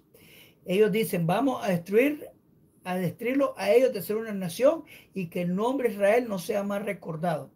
Porque ellos tuvieron consejo en unidad. contra ti ah, y ellos hacen un pacto. Las tiendas de Dom y los ismaelitas, Moab los hagaritas, Gebal, Amón y Amalek, Pilicho los habitantes de Tiro. así también Asiria se juntó y los hijos de, los hijos de Lot ah, y el brazo de los hijos de Lot para siempre. Hazle a ellos como Midian y a Sisera, a el, en el, en el río de Kishon. Que ellos sean destruidos sin ninguna generación. Que ellos sean como el excremento en la tierra. Hacerlos como sus nobles, Oreb y Seeb y Sabá y Salmuna y sus príncipes, que dijeron, vamos a heredernos para nosotros los moradas de Dios. Hazlo a mi Dios, hazlos como una como una, como una, como una ramita, como una pajita frente del viento, y que se queme, y que el fuego los queme en el bosque, y, su, y, la, flama que, los come, que, se los queme en las montañas. Para que tú los persigues en tu enojo y con tu, en tu remolino, uh, tú los des terror. Llena sus caras con vergüenza, que, te, y que ellos busquen tu cara, Hashem que sean avergonzados y tengan terror para siempre y que, que, que, en vergüenza ellos perezcan. Que ellos sepan que tú, tu nombre simple es Hashem, el Dios más alto sobre toda la tierra. Amén, amén, amén. En verdad, la razón que solo estoy haciendo esto es porque no quiero hacerlo largo para ustedes, mi hermano. Continúa una, una plegaria más chiquita, dice, Lama Shinim אל תהיה תקווה, וכל המינים וכל הסידים קרע יאבדו, וכל עובי עמך, מהר יכרת ומלכות הרשעה, מהר תעקר, ושבר תכניהם ותכניהם בירא ימינו, ברוך אתה אדוני, שובר אויבים מכניע שדים. Que el enemigo de Israel se arrepienta y que vemos buenas noticias que nuestros familiares reciban bendición, que él se arrepiente de, de hermana Elena, sanidad continua. Mi hermano Moshe Nisin Ben Java, mi hermano Abraham Rafael Ben Sara, sanidad para todos mis hermanos, que Hashem los cuide, bendición monetaria a cada uno de ustedes, buenas noticias, solo buenas noticias para todos nosotros, como dice el Salmo, Achtu de Funi que, que bendición y, y, que bendición te persiga todos los días de tu vida. Amén, amén, amén. Hermanitos, los quiero mucho, que el Eterno me los cuide, que escuchemos buenas noticias para cada uno de ustedes. Uh, bien, uh, mm, más para... Ay, se me olvidó el nombre. Refuerzo más para cada uno de ustedes. Ese es el punto. Refuerzo más. Sanidad completa, bendición monetaria para cada uno de ustedes, hermanitos. Los quiero mucho. Baruja Donai Leolam. Amén. Amén. Que el Eterno sea bendito por siempre y para siempre. Sanidad para Francisco, hijo de Aurora. Gracias, hermano. Gracias. Ayuda humanitaria para hermano Tallito. Pero tengo una pregunta. ¿Cuál es mi pregunta? ¿Quién vive? Hashem y su nombre. Gloria. La la hermanito, los quiero mucho. Por más. Ok, antes de continuar, quiero darle bienvenida a todos los nuevos. Repórtense de dónde están viendo, díganos cómo le estamos ayudando. También quiero que por favor le hagan me gusta a este video y se suscriban al canal, que le hagan clic a la campanita para que le contemos cuando los siguientes videos en este canal vengan. Es importante. También quiero invitarlo a las clases de la Biblia. Estudiamos la Biblia hebrea todas las noches, a las 8 de la noche hora de Toronto. De domingo a jueves estudiamos la Biblia hebrea, que es la raíz hebrea de la fe. La estudiamos del hebreo, la traducimos al castellano con sus comentarios, donde todo el mundo está bienvenido a aprender la Biblia hebrea con nosotros. Tenés que estar suscrito para comentar, pero todo el mundo está bienvenido. Así que suscríbanse al canal, dale me gusta el video, compártenos su grupo, únanse al proyecto de aprender la Biblia hebrea. El que aprende la Biblia hebrea vive menos, vive menos engañado. Así que hagan clic, clic, clic. Shalom Alejem, hermanito, Shalom Alejem. Este Yohanan para punto Breslev. gente quiere mucho, mi hermanito. Estaba meditando en eso hoy. Príncipes y princesas de Dios, amados de Dios, Baruch Hashem. Vamos a estar aprendiendo un poquito de Pirkei Avot, que es un libro muy importante en judaísmo que nos enseña, por decirlo así, proverbios judaicos. Es parte del Talmud, se llama Mishnah. Estamos aprendiendo un poquito de la Mishnah. Así que bueno, uh, espero que la hayan pasado bien. Uh, Baruch Hashem, hoy comí bien, hoy me hidraté bien. Fui tempranito a la sinagoga. Estudié con mi rabino. Me estudió Torah. Trabajé un poco. Hoy no me tocaba gimnasio, mañana sí. Así que no fui al gimnasio, pero fue a caminar. Hacer hit bodedut, plegaria personal crear nuevas realidades, para Hashem. Eso es lo que hice. Como dije, comí bien, saludable, me hidraté bien. Estamos preparando la casa para Pesach, así que estamos limpiando la casa de, de Hametz, de levadura. Estamos deshaciéndonos de toda la levadura, limpiando, así que bueno, estoy súper contento. Ya viene el tiempo. Este Pesach cae un, miércoles en la noche, que significa que acuérdense este pesaje el, la próxima semana, el miércoles, en la noche. ¿Qué significa? El jueves no hay clase, el viernes no hay clase, obviamente el sábado no hay clase, pero sábado la noche sí hay. Hashem. Este sábado sí hay, obviamente. Ah, pero bueno, para los que están considerando hacer conversión al judaísmo, esta es una prueba de su convicción porque Pesach es un sábado gigante. ¿Eso qué es? Ah, así que bueno, estoy súper contento por los festivales. Ah, quiero recordarles que tenemos las clases de la Biblia hebrea todas las noches. Ah, vamos, cuando terminemos crónica, vamos a comenzar otra vez la Torah. Me reí un poquito, les quiero contar la razón que les digo eso me reí porque me acusaron que no permitimos a los venenos estudiar Torah.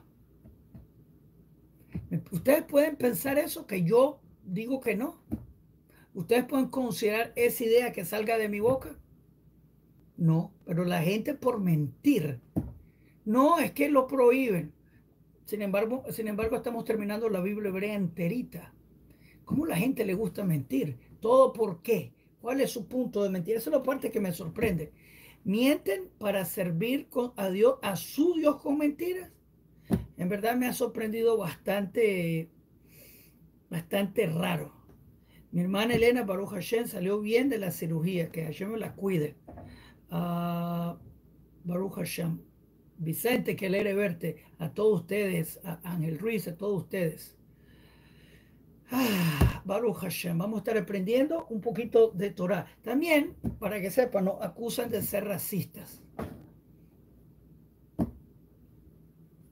Que bueno, sorprende cuánto la gente le gusta mentir para servir a su Dios con mentiras. Es lo único que puedo imaginarme. Pero bueno, el ser humano, de acuerdo a la Torah, fue hecho de la tierra Adán viene de Adamá, la tierra. De ahí viene la palabra Adam, Adamá, tierra. Y de ahí salen todos los colores. Y tenemos la chispa divina cada uno de nosotros que nos hace único frente al Creador porque tenemos la chispa divina dentro de nosotros. Es el imagen y semejanza de Dios en nosotros.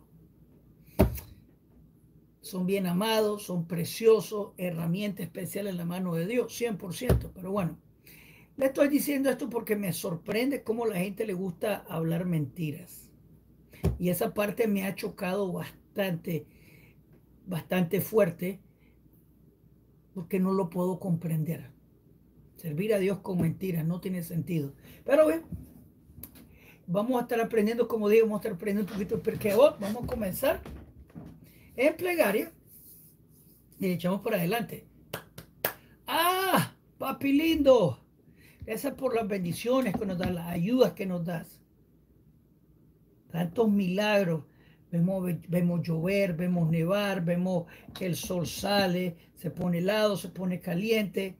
Tiene un orden la creación. Gracias por los perritos, los, los, pajaritos. Gracias por todas las bendiciones, los gatos, todos, los chanchitos, todos los animalitos. Gracias por ello. Tienen su propósito, bellos animales. Papi, gracias por todas las bendiciones. Ayer en la noche dormí en mi camita sano y seguro. Gracias, papi. Gracias por mis callitos, gracias por mis canitas, gracias por todas las bendiciones que nos da. Gracias, papi. Papi, te pido por Jochma, Haskel, sabor, entendimiento e iluminación para estudiar tu escritura, entender tu camino, caminar en tu camino, para poder comprender el camino de Torah, para poder vivirlo, brillarlo, iluminar al mundo con, con la verdad de Torah. Que un poquito de luz destruya mucha oscuridad. Tener compasión de nuestros familiares, de nuestros amigos. Está la profecía que todo el mundo te va a conocer que todo el mundo viera la casa oración para todas las naciones, el santo templo, alabarte a ti, a postrarnos frente de ti. Hazlo pronto, que tu reino venga pronto a esta tierra, que se, que se cumpla. Tener compasión de la gente de nuestra casa, de nuestra cuadra, nuestro pueblo, nuestro país, que todo el mundo te conozca. Que todo el mundo haga arrepentimiento. Amén, amén, amén, amén. Bien. Les digo y les voy a confesar una cosita. Estoy un poquito nervioso a veces cuando quiero enseñar ahora Dafyomi. No, perdón, este, yo estudio Dafyomi. Estudiar ahorita Perkei Avot. Uh, el Dafyomi también viene el Talmud, pero otro punto total. Otro diferente estudio que no vamos a comenzar. Eh, me pongo nervioso estudiar un poquito Perkei Avot porque esto es un poquito profundo y no quiero confundirlos. Así que voy a comenzar con una introducción breve otra vez para ah, entrarle fuerte. Entonces, el Talmud es el estudio bíblico más antiguo del mundo. Ah, le llamamos la ley oral. La razón es porque agarramos la ley escrita que te dice, por ejemplo, tefilín, o te habla de tzitzit, te habla de tzitzit, de hacer en la esquina de tu ropa tzitzit pero existen las leyes de cómo amarrarlo, tiene su estilo, tiene su forma. Eso lo dice la ley oral, que te lo explica. Y esto viene basado en lo que la Biblia dice. Muchas veces la Biblia, el, Talmud, perdón, deduce la forma que se, que se practique el mandamiento viendo el hebreo, cómo se verbaliza el mandamiento, cómo se pronuncia. Tiene una letra G y al, al final de la palabra la letra G tiene un dagesh, un puntito adentro. ¿Qué significa esto, lo otro? Todo tiene significado. No lo hacemos por vagancia o por doctrina. Tiene inteligencia que, es profunda, no es, no es doctrinal, se lo digo. No porque lo sentí en el espíritu, eso no tiene, no tiene cabida en la, en la, en la Torah escrita o en la Torah oral. Ahora, y que el Talmud le llamamos la ley oral, pero en verdad es el estudio bíblico más antiguo del mundo. En este tiene ideas, hay veces hasta contradictorias. ¿Por qué? Porque es para aprender y llegar a una conclusión. Por ejemplo, los tefilín son cajas que son negras. La cajita que se usa entre los ojos, que es esta parte, y en el brazo, que es esta parte. Ahora, todo se deduce de la forma que está escrito el mandamiento y el Talmud te lo dice. Ahora, hay discusiones contradictorias. Por ejemplo, ¿por qué, por qué los tefilín son negros? Una persona podría decir, ¿por qué, no pueden ser blancos? Entonces, y hay personas que dicen, podrían ser transparentes. Y entonces hay preguntas que se hacen para llegar a una conclusión. ¿Me entienden? Ah, y eventualmente la conclusión llega y así se practica. Esto se llama la maisa, cómo se hace. Así que si una persona agarra el Talmud y lo agarra como un libro regular, va va a terminar más confundido que otra cosa. No tanto porque Avot, porque es como proverbio, pero leer otra porción del Talmud Por ejemplo, tenemos en la historia del Talmud, tenemos lo que se llama Midrashim y Agadot, que son parábolas básicamente. Y son ideas para deducir, ideas de conversación de Torah. Así que tenemos a el Mesías leproso, por ejemplo, en Sanedrín, en el Tratado Sanedrín, que le llaman el Mesías sufriente, Mashiach ben Yosef, que viene de la tribu de Efraín. Pero en, en el Tanaj no existe promesa mesiánica para la tribu de Efraín, no existe. Porque aquí están derivando ciertas ideas para conversación, para entender, no están diciendo que existe. Así que de repente viene un come cuando hay de la Biblia y te dice, el Mesías sufriente se encuentra en el Talmud. Sí, pero no tiene base bíblica. De repente esta persona comienza a agarrar una idea que no tiene base bíblica y se la creen como que bíblica. Dice hermano, solo Hashem salva. La promesa bíblica es que el Mesías viene de Judá, David, Salomón del lado paterno. Punto final. Y una persona es de Judá por toda su vida. No puede venir de dos, diferentes afiliaciones tribales. Solo el papá da tribu. Así que si la mamá es levita y el papá es de Judá, el papá da tribu, los niños son de Judá. Si la mamá se casa con un gentil, los niños son israelitas, pero los niños no tienen afiliación tribal. La mamá no puede darle afiliación tribal a los hijos. Eso no existe. Así que hay varias ideas en discusión en el Talmud que pueden ser, hay veces, o sonar contradictorias, pero son solo discusiones para llegar a una conclusión.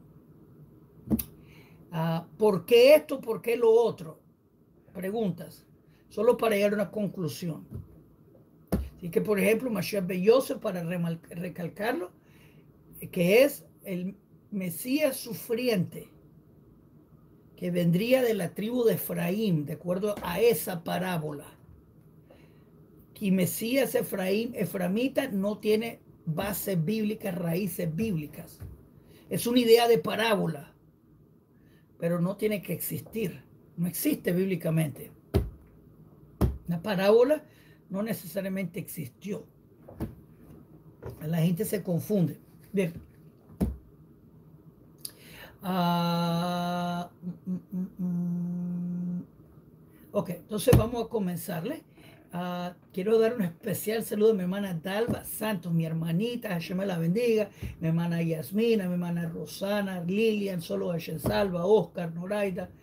Ah, Elena, Baruch Hashem, que el, Eterno nos está cuidando, Andrés, Fernando, Elsa, todos ustedes, Ángel Ruiz, Teresa, Yasmín, ah, Elba, mi hermana Elba, Hashem me la cuide, me la ayude siempre, a todos ustedes, hermanitos, Hashem me los bendiga, cada uno de ustedes, que Hashem me los bendiga cada uno de ustedes, preciosos, bellos del Creador. Elena, Elsa, perdón, Elsa, Ismael, Maylin, Javier Lan, Harry Campas. Qué alegre verlos a todos ustedes. Hashem me los cuide, me los bendiga cada uno. Príncipe y princesa de mi hermana Lilian, Baruch Hashem. Alegre ver a Josefina. Baruch Hashem, a todos ustedes, Maylin, a todos ustedes, Hashem me los cuide, me los bendiga, me les provea, que este, mi hermana Jada Ruz, Loren, Lorenzo, que este estudio sea para bendición para cada uno de ustedes, bendición monetaria, sanidad. La hermana Sonia, Baruch Hashem. Mi hermano Pedro está aquí, Baruch Hashem. Vamos a comenzar entonces. Eh, bueno, vamos a comenzar. Ok. Así que estamos estudiando Pirkei Avot, capítulo 1, verso 4. Estamos en verso 4. Está Efraín aquí, Baruch Hashem. Ok, estamos en verso 4, capítulo 1. Estamos estudiando con el comentario de Bartenura. Bartenura era un israelita italiano, para que sepan. Pero bueno. Uh, verso 4. Dice, Joseph, hijo de Yosef, uh, un hombre de Seredá, y Joseph Ben Yohanan, un hombre de Jerusalén, recibieron la tradición oral de ellos, de Shimeón, el recto, el Hasadik de Antigunus. Les recuerdo, Joseph Hasadik, él vivió alrededor de Alejandro Magno, que es como 300 años antes de la era común, más o menos. Uh, pero cómicamente aparece vivo en la Biblia cristiana. Así que históricamente la Biblia cristiana no tiene sentido histórico, pero bueno, pero aquí está Shimon Sadik, uh, que dice, Joseph, hijo de Yosef, decía usualmente que la casa, que tu casa sea una casa de encuentro para los sabios, que se sienten en el polvo de sus pies y que beban de sus palabras con sed. A con sed. Ok. Entonces dice Bartenura que tu casa esté abierta total así como la casa de Abraham nuestro padre. Paste sobre él, el cual él abría su casa las cuatro direcciones para que llegaran invitados y que no tengan ni siquiera ir alrededor de la casa. Mañana, estoy haciendo un video sobre los judíos incas, así se llama el video, judíos incas. Son unos indígenas incas que hicieron conversión al judaísmo desde hace tiempo atrás. Yo los conocí personalmente en Betel, Israel. Ahí conocí varios. También conocí algunos en Jerusalén. Gente linda. La razón que traigo esta idea es porque ellos eran muy hospitalarios en Perú. Y eso es lo que los caracterizaba, lo hacía diferente. Ellos eran muy abiertos y tenían sus puertas abiertas en Perú. Lo siguen haciendo, me imagino, en Israel, pero es una característica bastante frecuente y todos nosotros tenemos que tener esa característica de abrir la casa a personas, especialmente en Shabbat. Invitar al necesitado, al hambriento, para compañía, etcétera, etcétera. Bartenura continúa. No, aquí termina Bartenura 4. Uh, segundito. Segundito, vamos, perdón, metí la patica. Uh, dice, Yosef, ben Yosef, hijo de Serida, y Yosef, y Yosef, Yosi, hijo de Yohanan, hombre de Jerusalén. Todos estos son Tanaim, son sabios de la antigüedad, uh, rabinos, por decirlo así. Y el primer, uh, Y el primero de ellos, el primero de era el presidente de la comunidad judía, el nazi, el príncipe. Y el segundo era la cabeza de la corte. Así que Yose, Yosi Ben Yoser, él era, parece, el príncipe de la comunidad. Todos eran Tanaim, que eran de, lo, de los primeros de la comunidad judía que enseñaban, por decirlo así. Bien. Dice hermano Oscar, eh, complementando el estudio, o quiere decir que tu casa debe estar, abierta para recibir invitados. Siempre. Oscar, siempre con una sonrisa. Ah, bienvenido. Y también con la puerta abierta a, los necesitados, a toda la gente que venga, que coma, que se siente, que compartan. Ok. Ok. Que tu casa sea un lugar de encuentro para los sabios. Cuando ellos desean reunirse, que se, que se junten en tu casa, listos y tú listo para ese propósito, para que, uh, para que se, se, se, eleve el nombre de tu casa. Mira la casa de Abraham. Así a veces me llaman a mi casa para que sepa aquí en la comunidad, porque siempre tenemos invitados. Uh, Baruch Hashem. Uh, que sea una casa que sea hospitalaria. Uh, ok. Una casa que dice, dice, uh, continúa Bartelón, una casa que está como olorosa, como en perfumes de los misvot que la persona está haciendo. Y que, y que, uh, y que se sienten a sus pies en el polvo ah, de sus pies. Esto significa que uno camina detrás de ellos.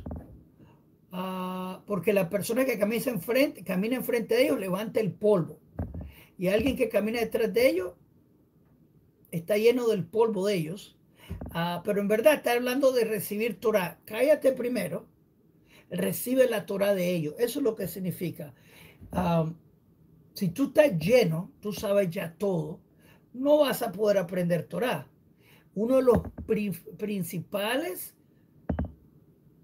bloques para, que, para saber que tú estás listo para aprender Torah es vaciar tu conocimiento anterior. Yo no sé nada. El momento que tú aceptas que no sabes nada es el momento que puedes ser lleno. Pero el momento que tú crees que sabes todo, no puedes aprender nada porque ya estás lleno. Y literalmente, y creo que puedo decirlo que casi todos, sino te puedo decir que casi todos, si no todos, tuvimos que llegar a un punto de decir, yo no sé nada y voy a comenzar de nuevo. Porque todos nosotros hemos comenzado una vez, dos veces, tres veces, cuatro veces, ¿me entienden? Ah, así que no hay que tener miedo, comenzar una y otra vez, una y otra vez, sin temor.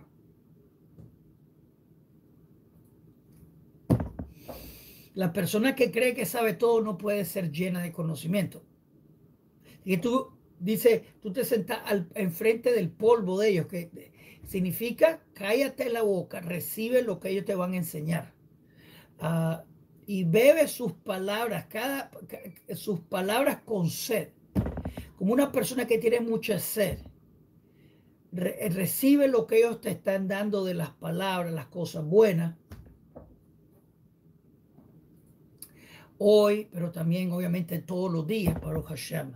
Pero el sábado pasado, en la tarde, tuve unas unas conversaciones con mi rabino. Y mi rabino me corrigió de una idea que tenía mal pensada. Hoy, en la, en la tarde, bueno, hablé hoy en la mañana, también en la tarde. Creo que en la mañana me corrigió, yo le fui a confesar que estaba equivocado en una idea que él me corrigió, pero yo no entendí, porque tengo sed de aprender. Hoy fui a hablar con él a una idea que yo le comenté, pero no había totalmente comprendido. Y él me dice, sí, así es. Me dice, ¿qué? Si me explicó otra vez lo mismo. Baruch Hashem. Me corrigió en un punto, dije una palabra en hebreo, pero la dije mal. En verdad la confundí dos palabras que son usables pero no son las mismas. Dije Kutim, que es samaritanos, y Shomerín, que es también samaritanos, pero tal vez no son de las mismas personas. Yo no sabía esa parte diferenciar. La encontré fantástico. Kutim es el lugar donde los samaritanos vinieron, pero hoy el día le llaman Shomerín, tal vez no son la misma gente, me dicen. Ok. Pero uno aprende de las palabras de su rabino. Eso es lo que quiero decir. Con mucha sed. Yo no sé todo. Y Baruch Hashem, tengo un rabino que puedo corregirme, puede, puede decirme, mira, eso está así, pero tenés que pensarlo así.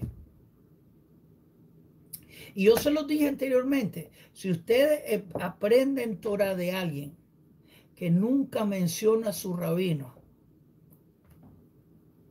y también como vimos en Perkeabot, verso 1, que dice, el Eterno le dio la Torah a Moisés, la, la Torah de Moisés se la dio Joshua, y Joshua a los ancianos, los ancianos a los, a los, a los, a los profetas, etcétera, etcétera. ¿Qué significa la Torah que yo tengo y la Torah que le estoy dando a ustedes?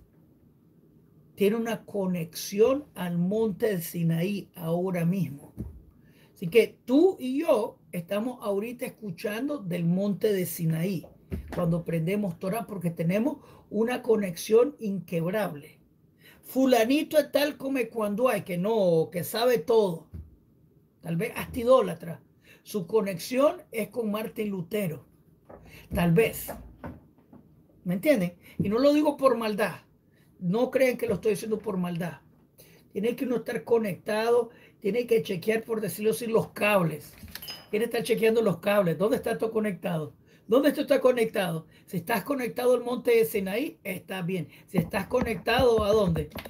Al consejo de Nicea. Hoy voy. Ay, ya.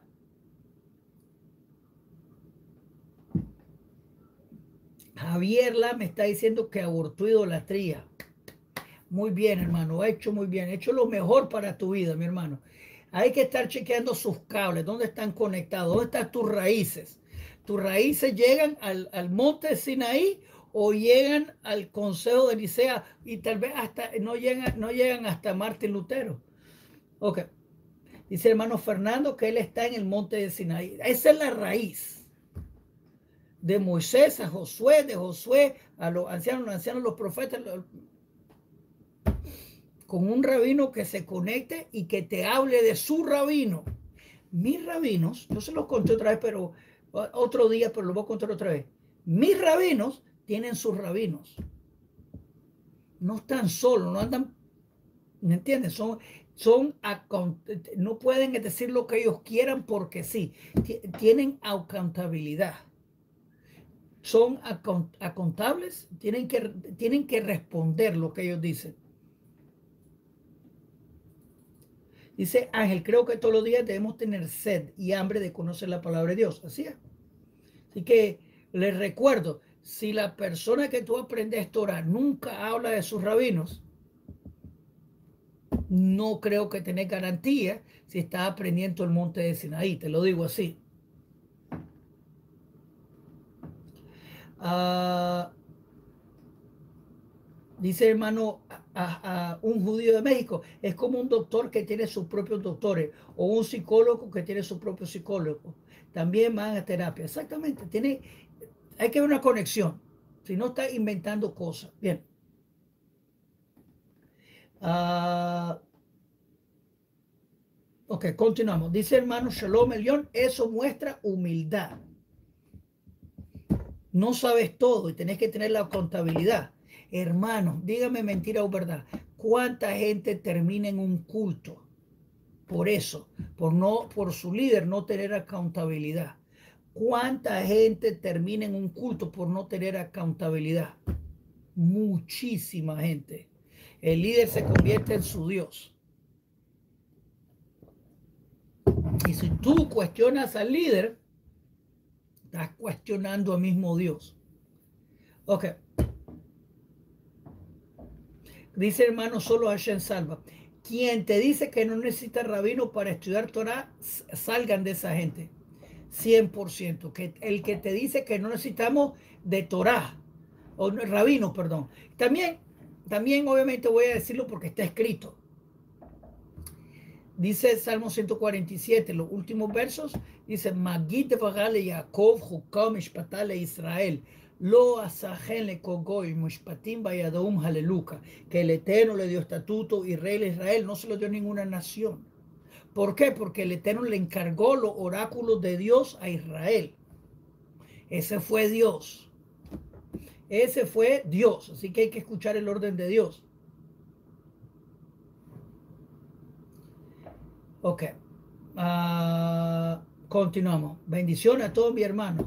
Bendiciones. Continuamos. Dice, estamos ahorita en verso 6, eh, verso 5 de Perkeabot. Ya lo leímos, perdón. Ok. Este, este verso a veces suena un poquito mal, así que tenemos que escucharlo y vamos a explicarlo porque va a sonar al comienzo un poquito difícil. Dice,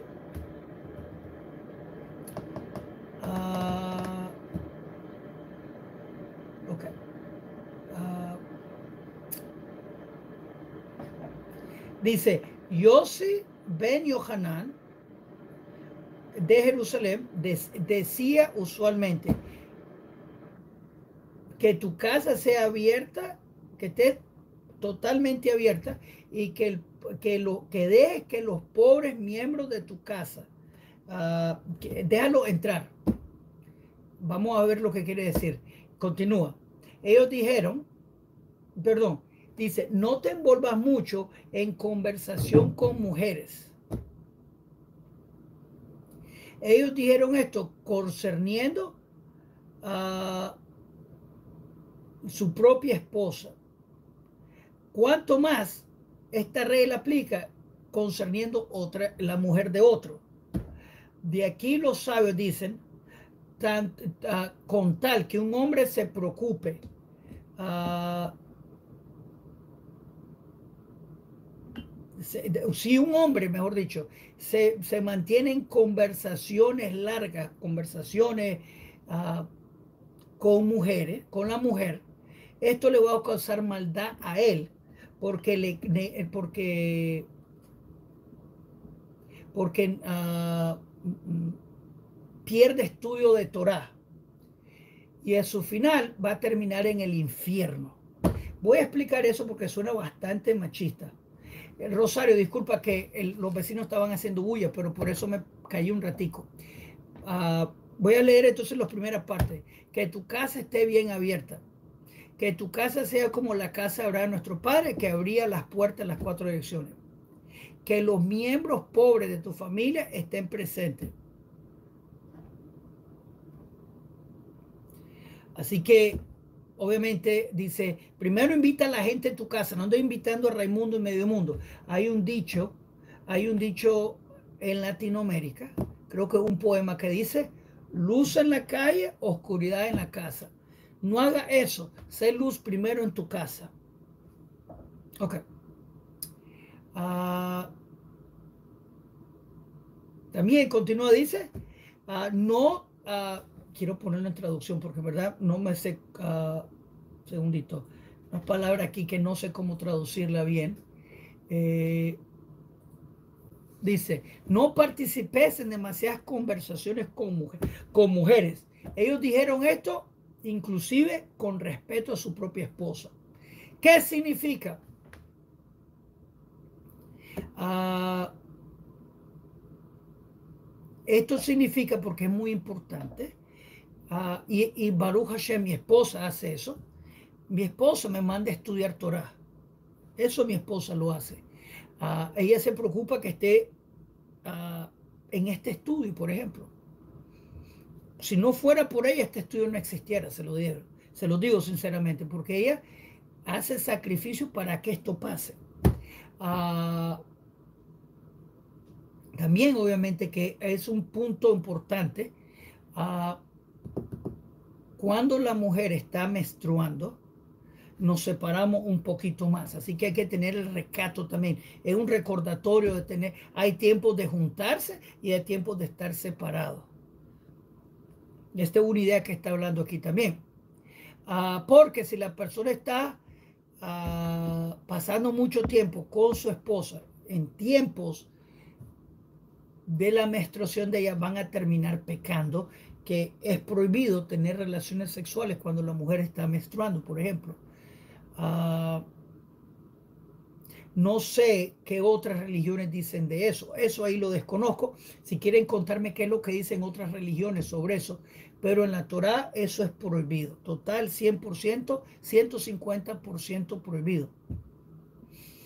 Así que hay que tener recato, hay que tener límites. Eso es lo que quiere hablar. ¿Cuánto más sería tener conversaciones con una mujer que no es la tuya? Ah, ahí eso sí es peligroso. Ah, yo me mantengo siempre en distancia con mujeres que no es mi esposa. Les conté anteriormente que cuando ando caminando y encuentro una señora que tal vez ah, quiere que, le dé la mano, voy a un negocio y quiere que le dé la mano, hay veces anda, yo ando con una bolsita o agarro un libro y le digo, disculpa, es que tengo las manos ocupadas para no ofenderla. Pero hay veces que me atraparon. Me atraparon con las manos vacías. Y yo le he dicho a la señora, mire, disculpe señora, yo no doy las manos a mujeres que no son mi mujer. Disculpe, porque estas manos están reservadas para mi mujer. Generalmente las mujeres respetan eso. Ah, me acuerdo, como les conté una historia de unas mujeres indígenas que cuando les dije, disculpe, yo no le doy las manos a las mujeres, ellas se sintieron muy ofendidas. Es que tú piensas que son más especial, tú piensas que, que somos sucias. Digo, no, no es eso del todo. Es que estas manos están reservadas para mi mujer. Y su cara seria se convirtió en cara alegre. Ay, qué lindo, qué lindo. El hombre israelita tiene recato. El hombre de fe tiene que tener recato. Hay que tener recato. Uh, ok. Dice mi hermana Lilian que sus abuelos tenían las camas separadas. Y eso se hace en judaísmo. Tenemos camas separadas. Uh, bien. Y eso también aplica a los nojales. Tener, tener recato sexual. Uh, ok. Hay que tener recato en todo tiempo. Ok. Ok. Así que cuánto más aplica una mujer extranjera que no es tu esposa. Uh, uh, Así que no te dice, continúa ternura. Y aquí aprendemos que no podemos tener mucho conversación con mujeres, pero hablando al hombre, aquí está hablando el hombre, no está hablando las mujeres. Así que mis hermanitas lindas, preciosas de Dios, no se sientan mal. Ah, no se sientan mal cuando estamos hablando de eso.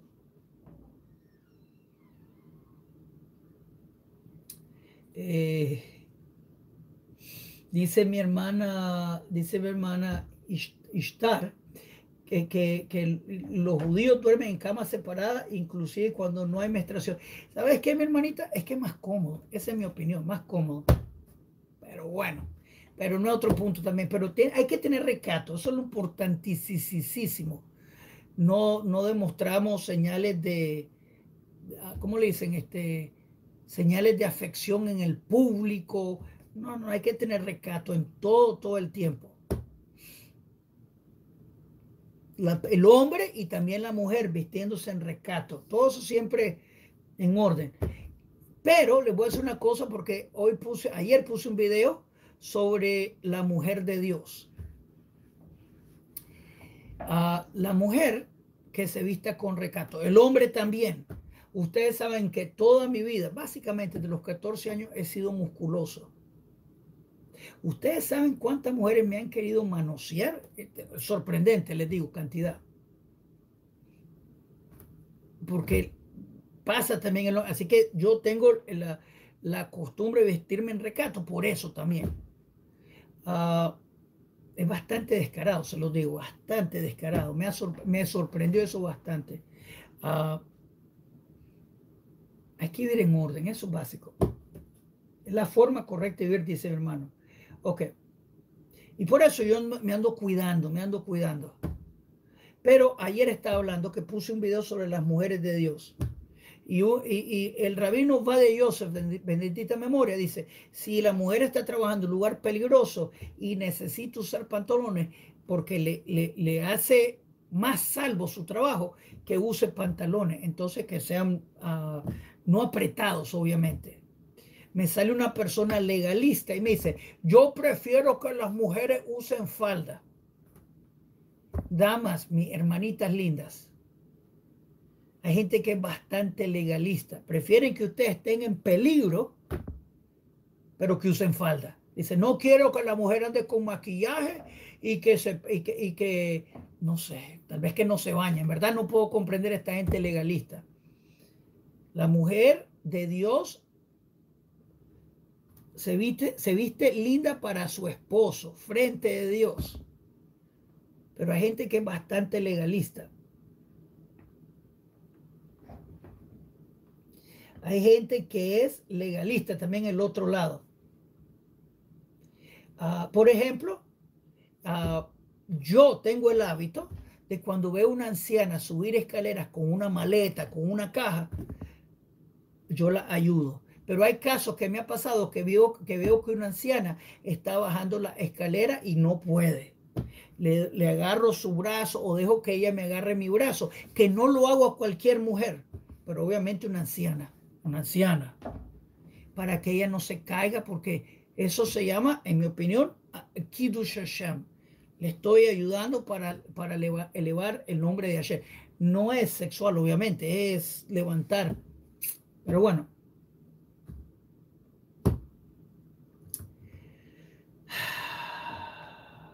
Ok. Ah, dice hermana Rosario que mucha, mucha gente no dejan que se pongan pantalón y maquillaje. En la comunidad judía la mujer se pone maquillaje. Obviamente se viste para su esposo. Así como el hombre tiene que vestirse para su esposa.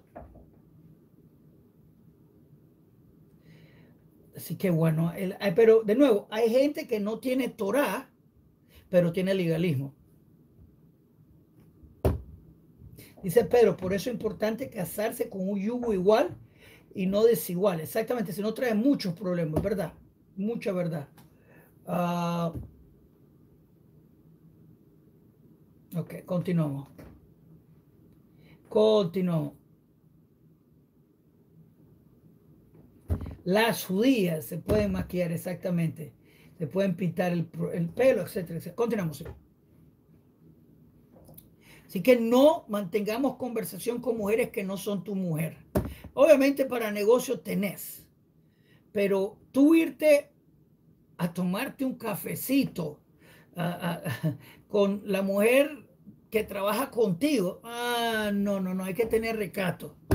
Ah, y esa persona está, a, esa palabra no me la sé en castellano, un segundito, está descuidando la Torah, está descuidando su Torah y está haciendo cosas que no le van a traer beneficio. Y como dice el final de, este verso, esto lo lleva al mismo infierno, a Gehinnom. Ok. Seis. Segundito. Seis. Dice, este me encanta este dicho. Ok. Eh, verso 6. Segundito, quiero una cosa.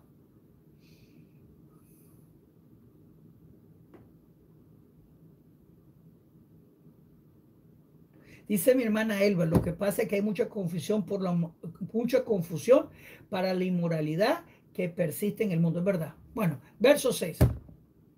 Dice, Yehoshua ben Pragia, que si se acuerdan, y el licenciado Levi tiene un punto, pero aquí hay una duda que no voy a entrar en la duda, pero históricamente Yehoshua ben Pragia se cree que era el rabino de, de ustedes saben quién, pero puede ser, no tiene que ser, pero bien, Yehoshua ben Pragia y Nitati el Arbelita recibió la tradición oral de ellos me imagino de, lo, de, de los ancianos, me imagino de los profetas, los profetas Yoshua, Yoshua de Moisés.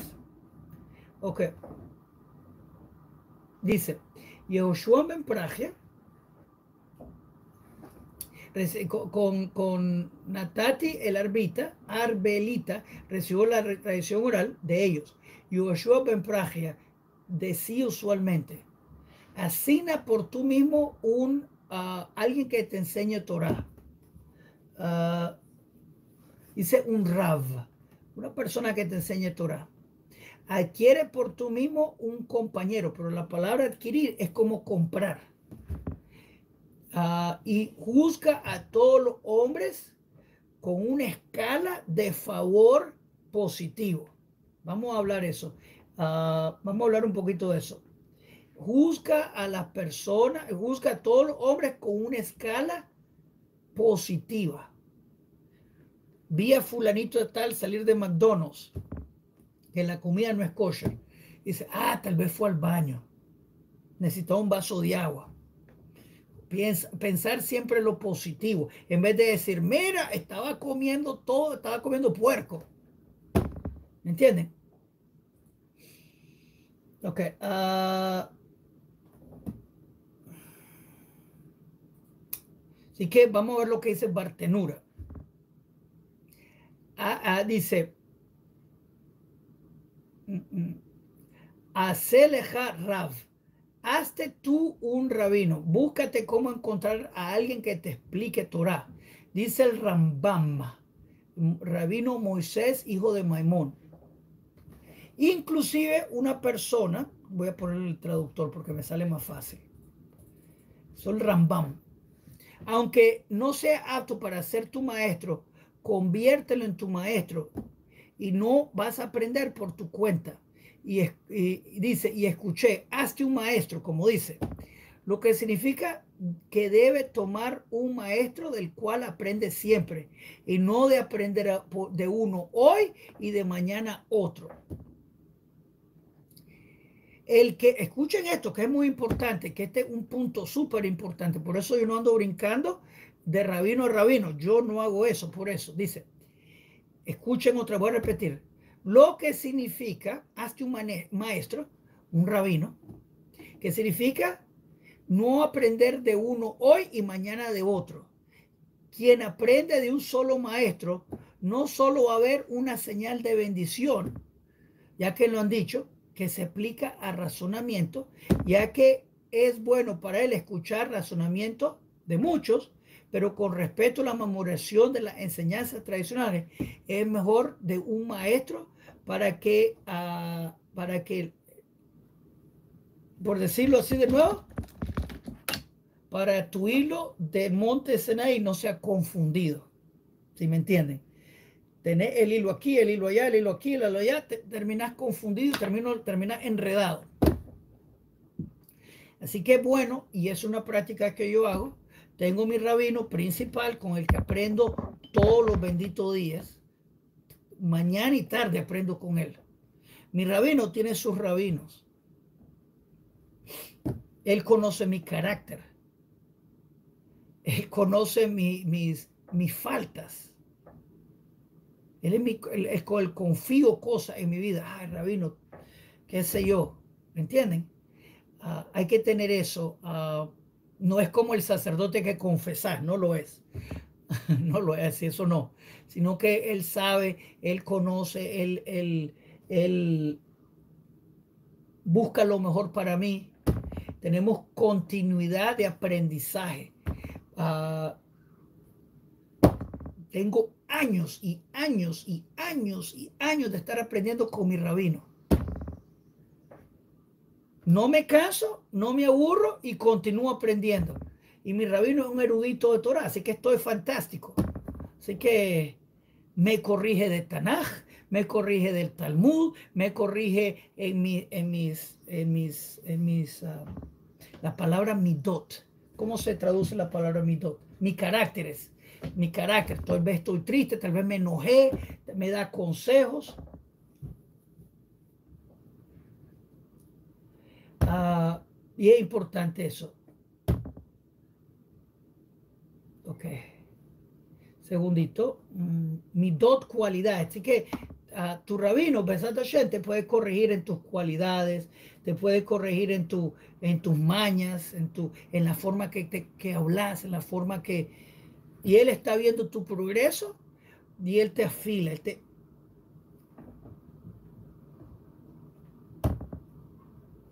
Ok.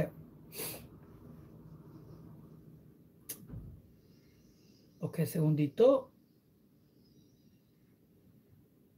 Ok. Ok, te endereza, te guía, te regresa el camino. ¿Por qué estás pensando así? Tenés que verlo así y, ah, ok, ok, ok, ok. Y hay veces, porque creo que es importante, a veces tu rabino va a estar en contra de ti. Mira, muchacho, no debieras de haber hecho eso. Ok. Y la persona de fe dice, ah, es verdad. La persona que tiene orgullo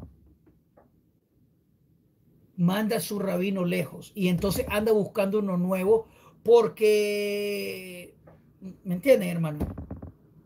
Porque tiene mal temperamento. Ok, ver, continuamos en lo mismo. Adquiere para ti mismo un amigo. La palabra aquí adquiere es como compro un amigo.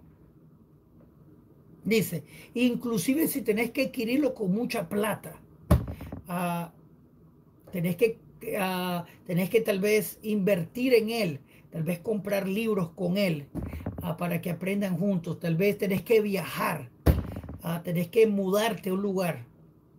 Eso es muy importante, hermanos. Mudarse. Yo no sé si he podido llevar esa idea a ustedes. Una comunidad, ya sea Benenoa o una comunidad judía, nunca va a existir si no se mudan juntos.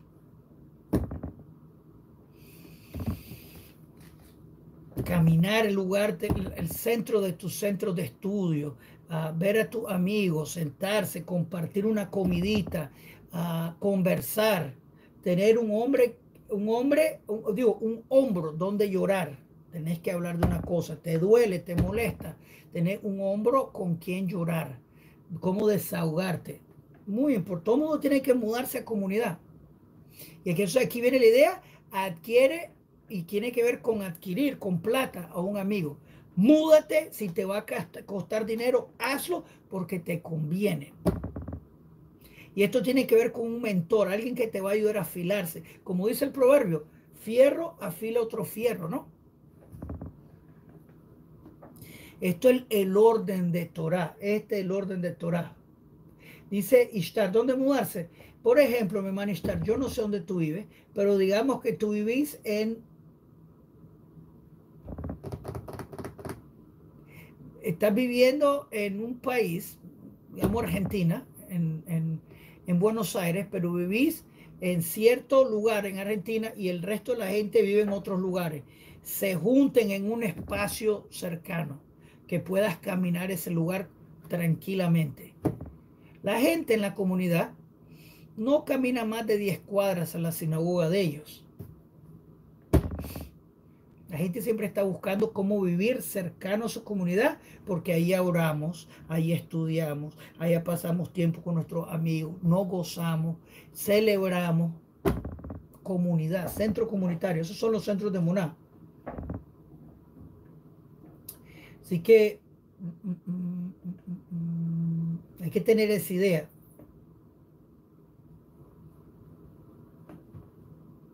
Ok.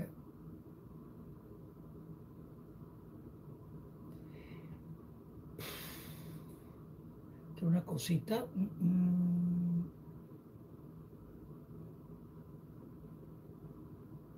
Ok.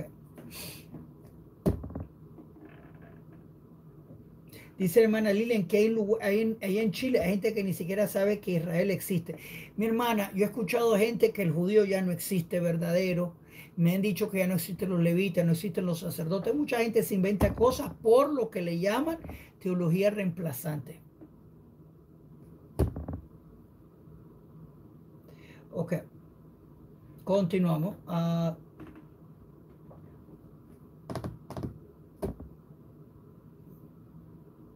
Continuamos entonces. Dice, ah, y juzga, una, eh, juzga a cada persona con mérito, positivamente. A mi hermano, los quiero mucho. Hay veces yo los mal comprendo. Tal vez no entendí su texto. Así que digo, hay algo bueno aquí y tal vez no lo comprendo. Y por eso a veces les digo, escríbeme otra vez, explicarlo otra vez, porque tal vez puedo tomarlo de la manera equivocada. Y hay veces, le digo, yo he tenido gente con la que he tenido desacuerdos. Aquí en este grupo. No hay problema, somos amigos, vamos a juzgarnos uno a los otros positivamente. Hashem ve lo positivo en ti. Entonces, ¿quién soy yo para verte lo negativo? Un culto te tira piedra y te, te, te cortan. No somos un culto.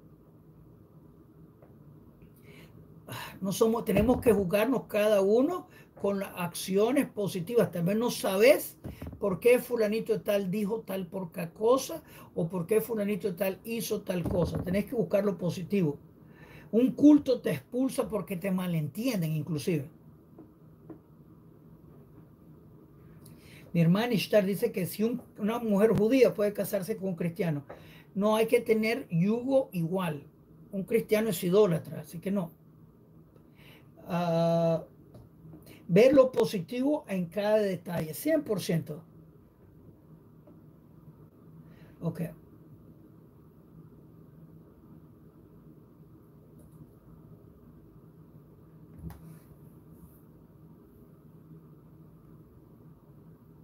Así que dice, continúa Bartenura, que tenemos que sospechar de todos que son gente recta. Por ejemplo, regresando a un conflicto que tuve con alguien hace tiempo, yo dije, aquí hay algo bueno, aquí hay algo bueno. Y por decirlo así, agarré mi sospecha que la persona es recta y pulí lo que yo sospeché, por decirlo así. Le, le, le, mencioné los buenos puntos a la persona. ¿Y saben qué pasó? La persona soltó su enojo y continúa en su rectitud. ¿Se me entienden? ¿Me entienden el poder de ver lo positivo en todo? Obviamente, existe gente malvada. Tal vez un día van a hacer arrepentimiento. Hay que tener cuidado con eso. Pero que aquí tenemos también la idea beno o ni, que significa las personas que pueden estar en un lado o en el otro. Siempre sospecha positivo. Los malvados, mm, tenerlo un poquito lejos de ti. Pero los beno ni, aquí estamos hablando de la gente que son intermedios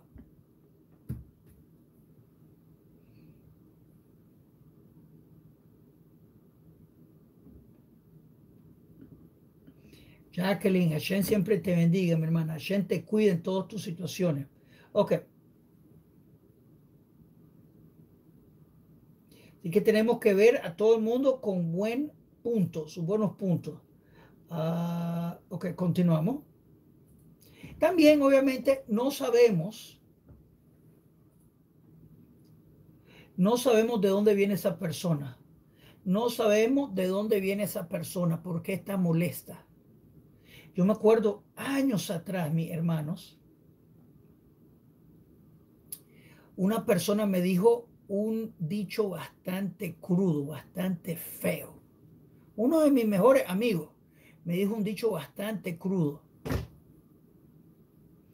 Yo me quedé sorprendido y callado.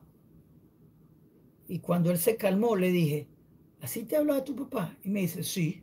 Le digo, a mí no me hablé así que hay que tener ese, ese recato, pero también su respeto propio. Dice hermano solo Hashem salva. A veces la posición es, eh, no, lleva a hacernos mejores personas. 100%. 100%. Uh, ok. Entonces continuamos. Verso 7. Nitai, el arbelita, decía frecuentemente, decía, decía, Guarda una distancia de malos vecinos. Ah,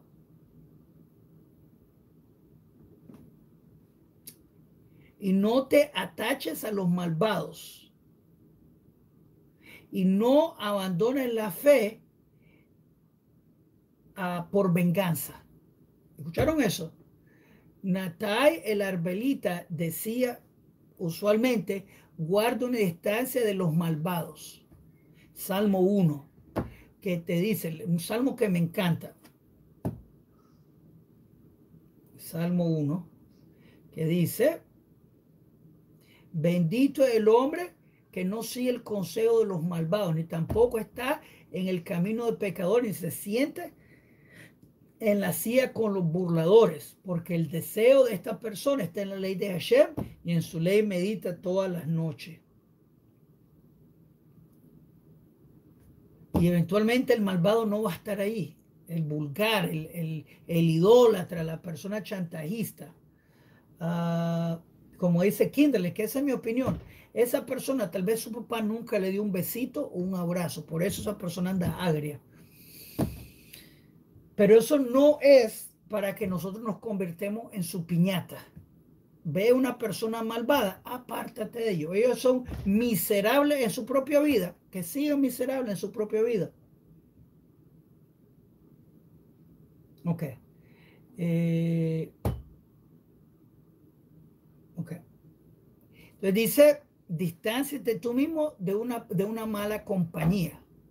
No, de, no aprendas sus acciones para que no sea, que no sea para que no seas castigado cuando lo estás copiando a él, por decirlo así.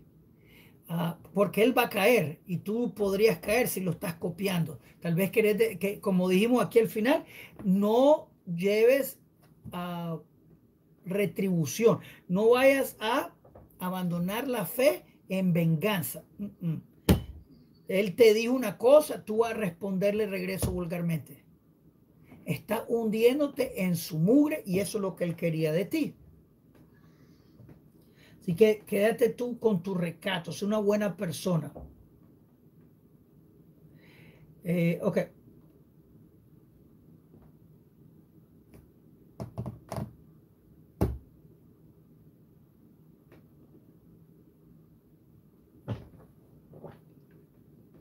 Uh, dice Ishtar, Ishtar dice que su tía estaba en Israel hace seis años y nos contaba que en Israel las mujeres van atrás del bus y los varones tienen una preferencia.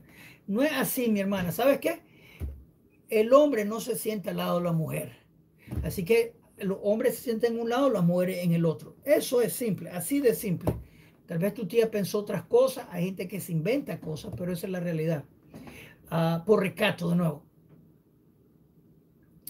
Uh, buscarlo, Christopher dice, Christopher, ¿dónde podemos conseguir este libro? Buscarlo en internet, se llama Perkeavot. Disculpa que ahorita no tengo uh, una copia. Ok. Dice hermano Valentín que irónicamente a él lo han llamado idólatra por creer en el Dios único. Eso pasaba hace dos mil años atrás. Nos llamaban ateos por creer solo en Dios. Que continuamos, el, mismo verso todavía, verso 7, no te haga amigo de malvados. Te aferra a malvados, andas con ellos. ¿Recuerdan aquel dicho? El que anda con lobos, aullar aprende. Y también un dicho que yo pienso que es bastante evaluable. Yo hago esa práctica. El dicho dice, tú eres la suma de las cinco personas con las que tú te asocias. Tú eres la suma de las cinco personas con las que tú tenés asociación. Yo tengo a mi amigo Shimón. No me escuchan hablar mucho de él, él es levita. Buen amigo. Tengo a mi amigo Efraín, una persona fantástica, es israelita como yo. Tengo mi, mi rabino, obviamente. Uh, Tengo mi amigo Moshe. Tengo mi amigo Benjamín. Gente que son de Torah, gente alegre. Mi hermano, hermano Moshe, me río porque él es bien cómico, pero es de Torah. Persona seria. Uno tiene que incircularse con gente que es positiva. Hay otro muchacho que se me está uniendo que se llama Sruli. Se llama Israel, pero le decimos Sruli. Una persona de carácter recto Así que influencia, tú te influencias, tenés, influencia con la gente con la que tú caminas. Si andas con gente vulgar, dime con quién andes, andas y te diré con quién eres, quién eres. Buscar una persona personas positivas con las cuales te construyen.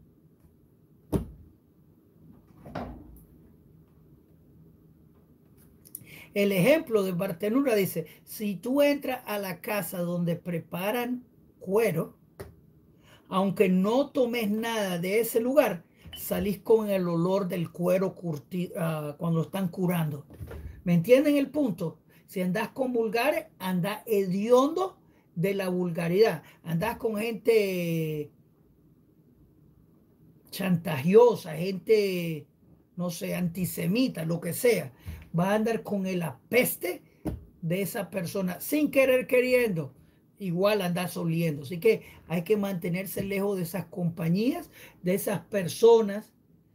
También, y, y creo que un punto importante, no sea el salvador de todo el mundo. Ora por las personas, pero hay gente que mejor no andes con ellos porque no eres el salvador del mundo. Cuida tu boca, cuida tu compañía, cuida todo tu ser, porque termina apestando a ellos. Y no te desesperes por el castigo. Estás viendo los malvados prosperar. Estás viendo los malvados prosperar. Voy a decirlo diferente. Hay malvados que parecen que están prosperando. No te frustres, no te iguales a ellos para llevar venganza.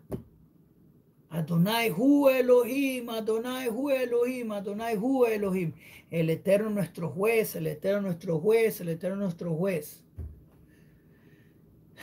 Recordemos eso, el eterno nuestro juez. Okay.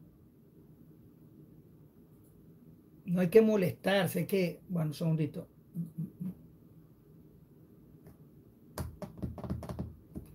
Ok. Y como dice Elena, por el mismo, por el mismo moneda, por eso decir, tenemos que conectarnos más, lo más posible con el creador de, y, nuestro creador, ¿sí? Hit bother dude, plegar al personal, pasar tiempo con tu papi que te quiere mucho. ¿sí? Así que no te iguales a ellos, no, no lleves venganza en tu propia situación uh, y no te desesperes porque no es justicia. Vamos a terminar en el siguiente porque no quería pasarme una hora y ya me pasé una hora. Así que disculpe, vamos a hacer el último, 8. Vamos a terminar en 8. Yo pensaba que íbamos a terminar en 15. No va a pasar. Yehuda, hijo de Tabai, y ben uh, Shimeon Shetach recibió la tradición oral de ellos. Yehudía, Yehudá, hijo de Tabai, dijo, uh, dijo, no hagas como un juez y haga la parte de el, el abogado defensor cuando los litigantes estén frente de ti, mira sobre ellos como si los dos son culpables. Y cuando los dos salen de tu presencia, míralo ellos como los dos son inocentes. Ah, cuando ellos han aceptado el juzgamento. Por ejemplo, de un caso, hace años atrás hice un negocio, aquí en la comunidad obviamente, y pensé que un amigo me hizo, un, eh, me, no calculó bien la, la, situación. Así que le pedí a un rabino que juzgue entre nosotros. Los dos estábamos de acuerdo el juzgamento. Antes de comenzar, fuimos al rabino y le dijimos, tenemos un caso que quiero que por favor usted uh, juzgue frente de nosotros. El rabino me dijo a mí y le dijo a él, están de acuerdo que lo que yo diga va a ser la verdad de Hashem. Yo dije que sí, él dijo que sí. Yo puse mi caso, él puso su caso. Yo perdí. Baruch Hashem. Estaba equivocado. ¿Saben qué?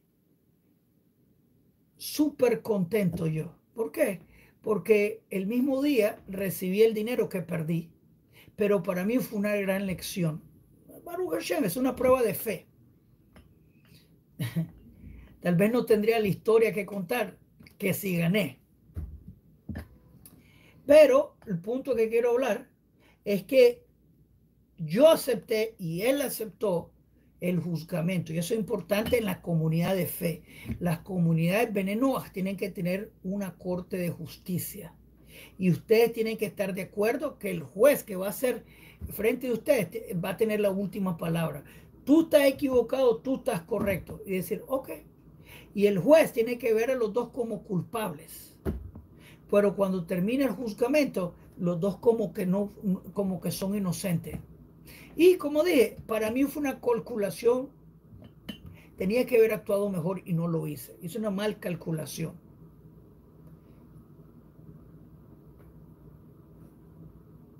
No hay problema. Aceptar con amor lo de Hashem. Ah, lo de la ley, lo de tener un juez, una corte de justicia para los venenos está en las siete leyes de Noé. Bien. Como dice solo Hashem salva, la Torah es simpleza y humildad. Sí, sí, sí. Les digo, ¿cuántas veces he contado la misma historia? Yo le he exprimido esa historia a lo máximo y no tengo vergüenza que perdí. porque el punto no era orgullo, el punto era hacer lo que era correcto frente a los ojos del Creador. Así que no es vergüenza.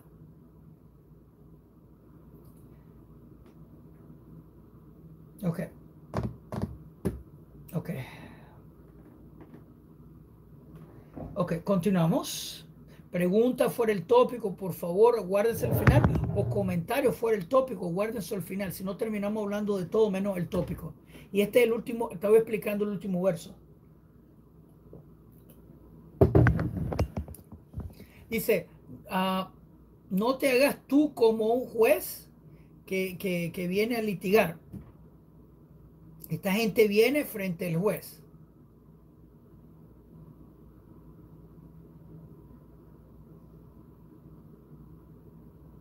Así que dice uh, Bartenur, el, comentarista, cuando uno va frente al juez, es prohibido uh, decirle al juez cómo tiene que jugar el caso para que yo gane.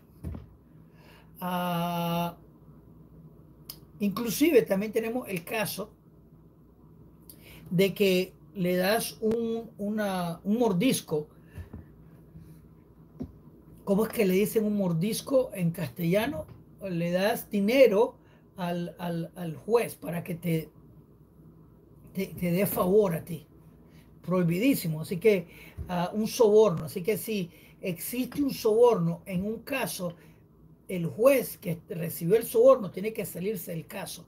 Inclusive, estricta la Torah es tanta, eh, bastante estricta es la, la ley de Torah, que si tú eres el juez y te digo, buenos días, me alegra verte mucho, Dios te bendiga.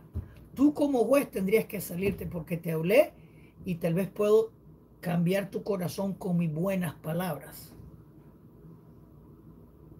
Así es de estricta la Torah. Así que el, juez, que, la persona le dice buenas palabras florientas a la persona, el juez tiene que salirse del caso. Tiene, el juez tiene que ser también bien honesto, decir, no, no, yo no puedo jugar este caso. Fulanito de tal es mi primo, fulanito de tal es mi amigo, fulanito tal me habla buenas palabras. Me compró un carro el año pasado, fulanito de tal. Ah, ah. Así que es el caso de honestidad de Torah. Ah, Y una persona no puede pensar ser un gran juez ah, cuando está juzgando en un tribunal. No te pretendas ser como un gran juez. Y forzás a los litigantes que vengan enfrente en a No le hagas la vida difícil a la gente, básicamente. Y si una persona mansa, y, ve estos dos como culpables para que tu corazón no se incline frente a uno de ellos diciendo, ah, fulanito tal tiene la cara de ladrón. No, no, no podemos decir eso así. O tiene una falso, un, un clamor falso. Tenés que limpiarte cualquier prejuicio. ¿Cuántos de ustedes escucharon eso de alguien? Mira, fulanito tiene la cara de ladrón. No, no, no, eso no se puede hacer. Tenés que ser una persona justa. Ah, inclusive voy a decir tal vez un poquito libre, que tal vez formando los centros de Muná hay que tener líderes, gente que sea de Torah en tu grupo para comenzar y tienen que, tienen que decidir, mira, fulanito tal puede actuar como juez. Y lo que él diga va a ser la ley para, tener orden en la, corte. Por decirlo así, que no todo el mundo sea cabecilla porque va a ser un desorden. Pero eventualmente, se los digo, el cabeza corte de la comunidad de Benenoas tiene que ser un judío. Porque si no, terminamos con iglesia parte 2. Y eso no es requerido, eso no es propio. Ah, y cuando terminan, cuando termine el juzgamento, que sean como que los dos ah, son inocentes. Porque recibieron el juzgamento. Uh, tenés que amar a la persona porque la persona puede ser error, no hay problema. El Señor que, yo, que, que, que yo mal calculé, y que fui frente de él, frente con él a la corte, él es mi amigo. Él es mi amigo. Hoy en día, el día después del juzgamento nos abrazamos y le di gracias a él. Así que no es, no, no es para ser e, enemigos, somos hermanos. Pertenecemos a la misma comunidad. Sus hijos y yo comemos en la misma mesa, sus nietos. ¿Me entienden?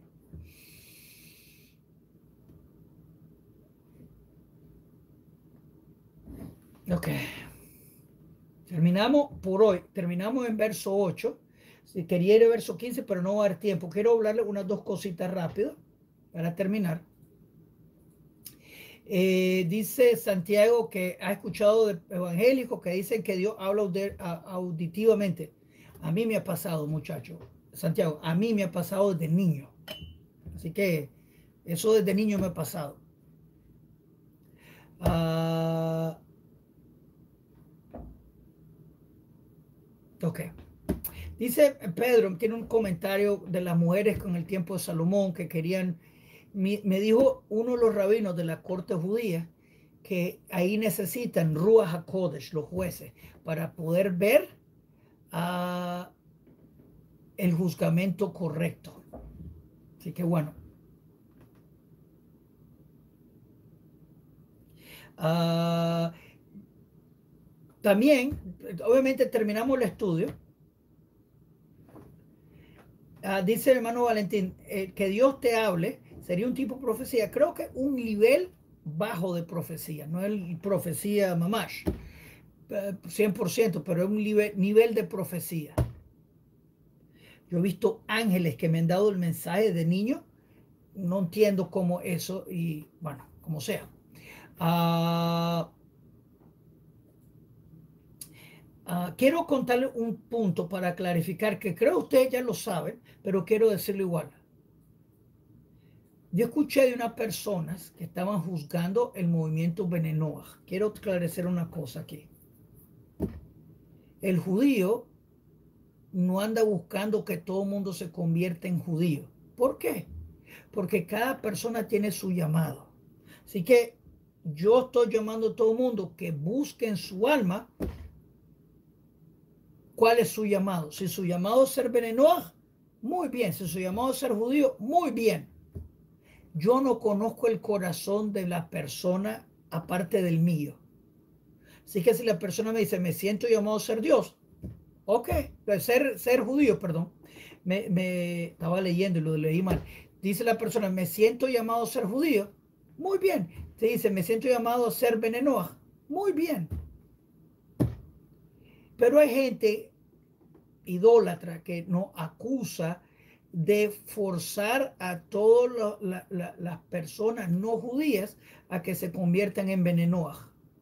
Y le estamos prohibiendo vivir la Torah de Hashem.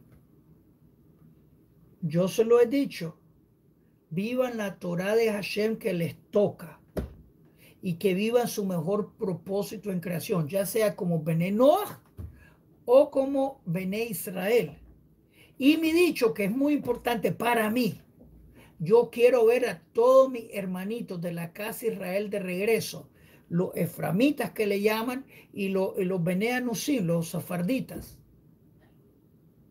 Yo quiero ver a todos mis hermanitos de regreso que les requieren conversión a Israel de Torah para remover cualquier duda si hubo casamientos no permitidos en su pasado. Tu tatara tatarabuelo se casó con una mujer no judía, por ejemplo. Pero mi deseo, y ustedes lo saben 110%, es ver a todos mis hermanitos descendientes de Israel de regreso. Ese es mi deseo personal. El que te diga contrario está haciendo drogas. Todos, usted, todos ustedes entienden eso, ¿no? Digan capito, significa yo comprendo en italiano. Capito, escriban capito. Comprendo.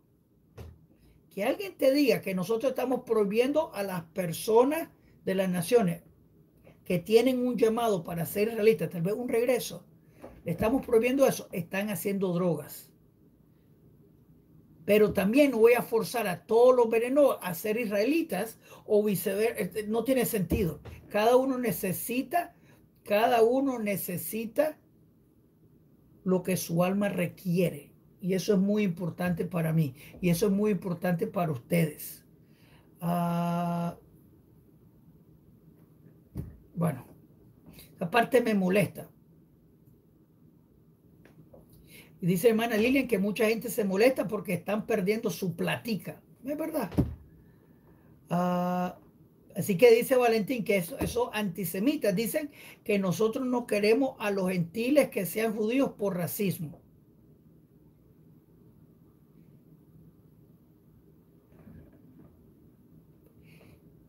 Yo les digo todos los benditos días, amados y bellos del Creador, morenitos, chinitos, blanquitos, gorditos, flaquitos, altos, donde sean, porque todos son amados de Dios, de las junglas de Venezuela, de las junglas del Congo, de Marruecos, de, de Escandinavia, todos amados de Dios. Que me acusen de racista, estaría mintiendo enormemente. Tal vez la gente tiene que mentir para servir a su Dios mentira, ¿no? Tal vez eso, tal vez eso, y no lo puedo comprender yo. Tal vez la gente esa está buscando cómo continuar usurpando el Israel, porque ahora son Israel espiritual, etcétera, etcétera. Bueno. Dice mi hermana Elena, si se puede comer fideo en los días de pan nacimos. Si tiene harina, no. Ok.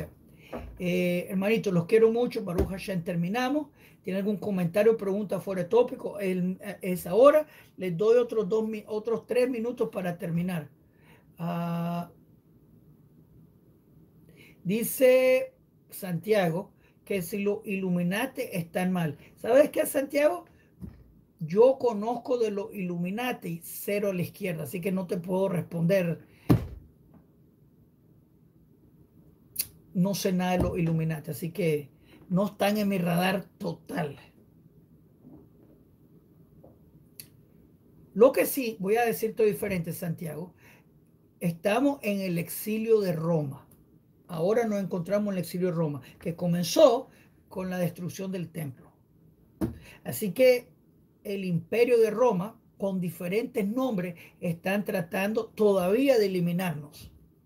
Pasó la cruzada, pasó las inquisiciones, vino el holocausto y continúan tratando de eliminarnos. Israel espiritual. Eso, eso es Roma disfrazada. Roma disfrazada. Se ponen una equipada y ya son, ya son israelitas espirituales. Pero en verdad, el que tenemos que preocuparnos es a Roma, los masones, los Illuminati y todos estos grupos que en verdad no están en mi radar, nunca los he visto, no los conozco. Aquí en Toronto hay un edificio de los masones. Nunca en mi vida lo he visto abierto, sé que ni siquiera, y no es ni siquiera cerca de aquí. Así que bueno, no sé, la gente le gusta Creo que la distracción que la gente te, le gusta llevarte son los masones, pero en realidad es Roma.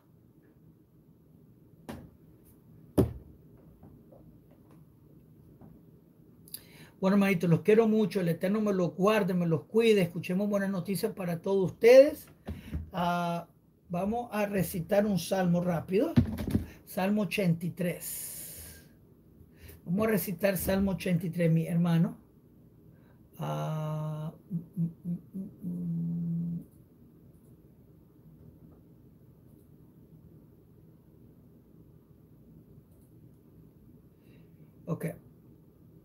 mm, ok.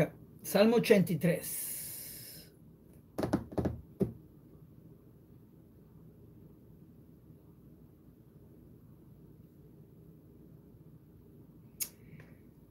Dani Machado. Dani Machado, hermano, quiero hablar contigo. Seriamente quiero hablar contigo, Dani Machado. Por favor, no te me perdas, muchacho. Dame.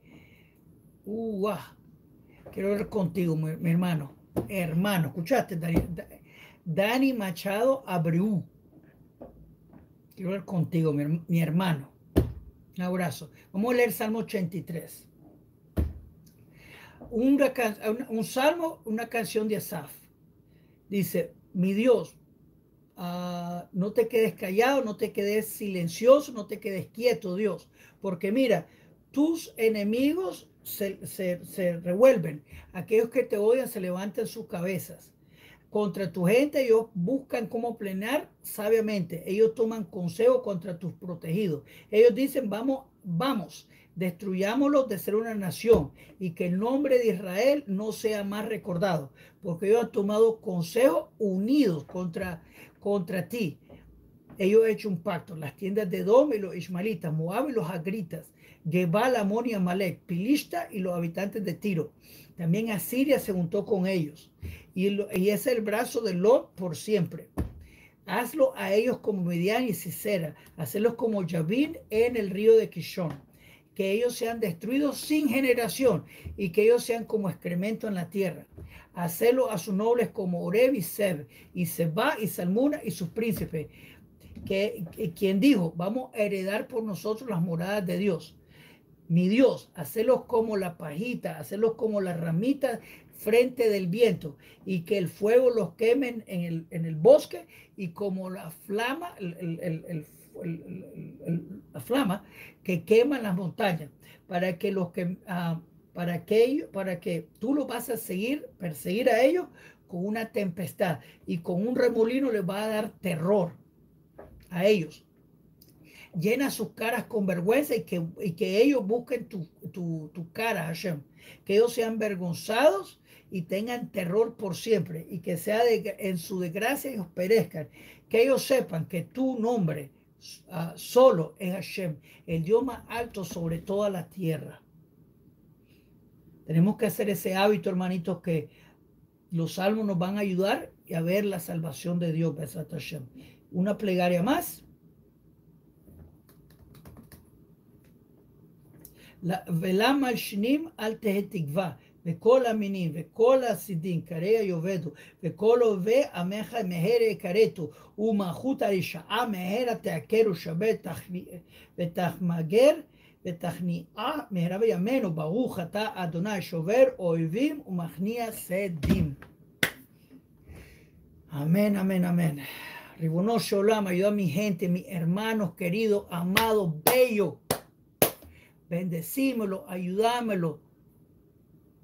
Ah, sanidades para todos, para, para, cada uno de mis hermanos, sanidades, bendiciones monetarias, solo buenas noticias para cada uno de mis hermanos, paz para Israel, paz para todos mis hermanos, que todos nuestros hermanos te conozcan, caminen contigo. Amén, amén, amén. Solo buenas noticias, solo buenas noticias. Amén, amén, amén. Ah, bueno, hermanitos, los quiero mucho. Ah,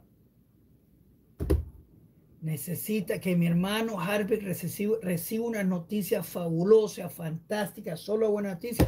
Sanidad para Francisco, hijo de Aurora, para mi hermana Elena, para mi, para mi hermana Dalva, sus ojitos, que le traigo la sane, para Yasmín, sus hijos, para todos mis hermanos, bendiciones monetarias, ayuda, alegría. Amén, amén, amén. Baruch Adonai Leolam. Amén, ve, amén. Que el Eterno sea bendito por siempre y para siempre. Hermanos, tengo una pregunta. ¿Cuál es mi pregunta? ¿Quién vive? Hashem y su nombre. Gloria.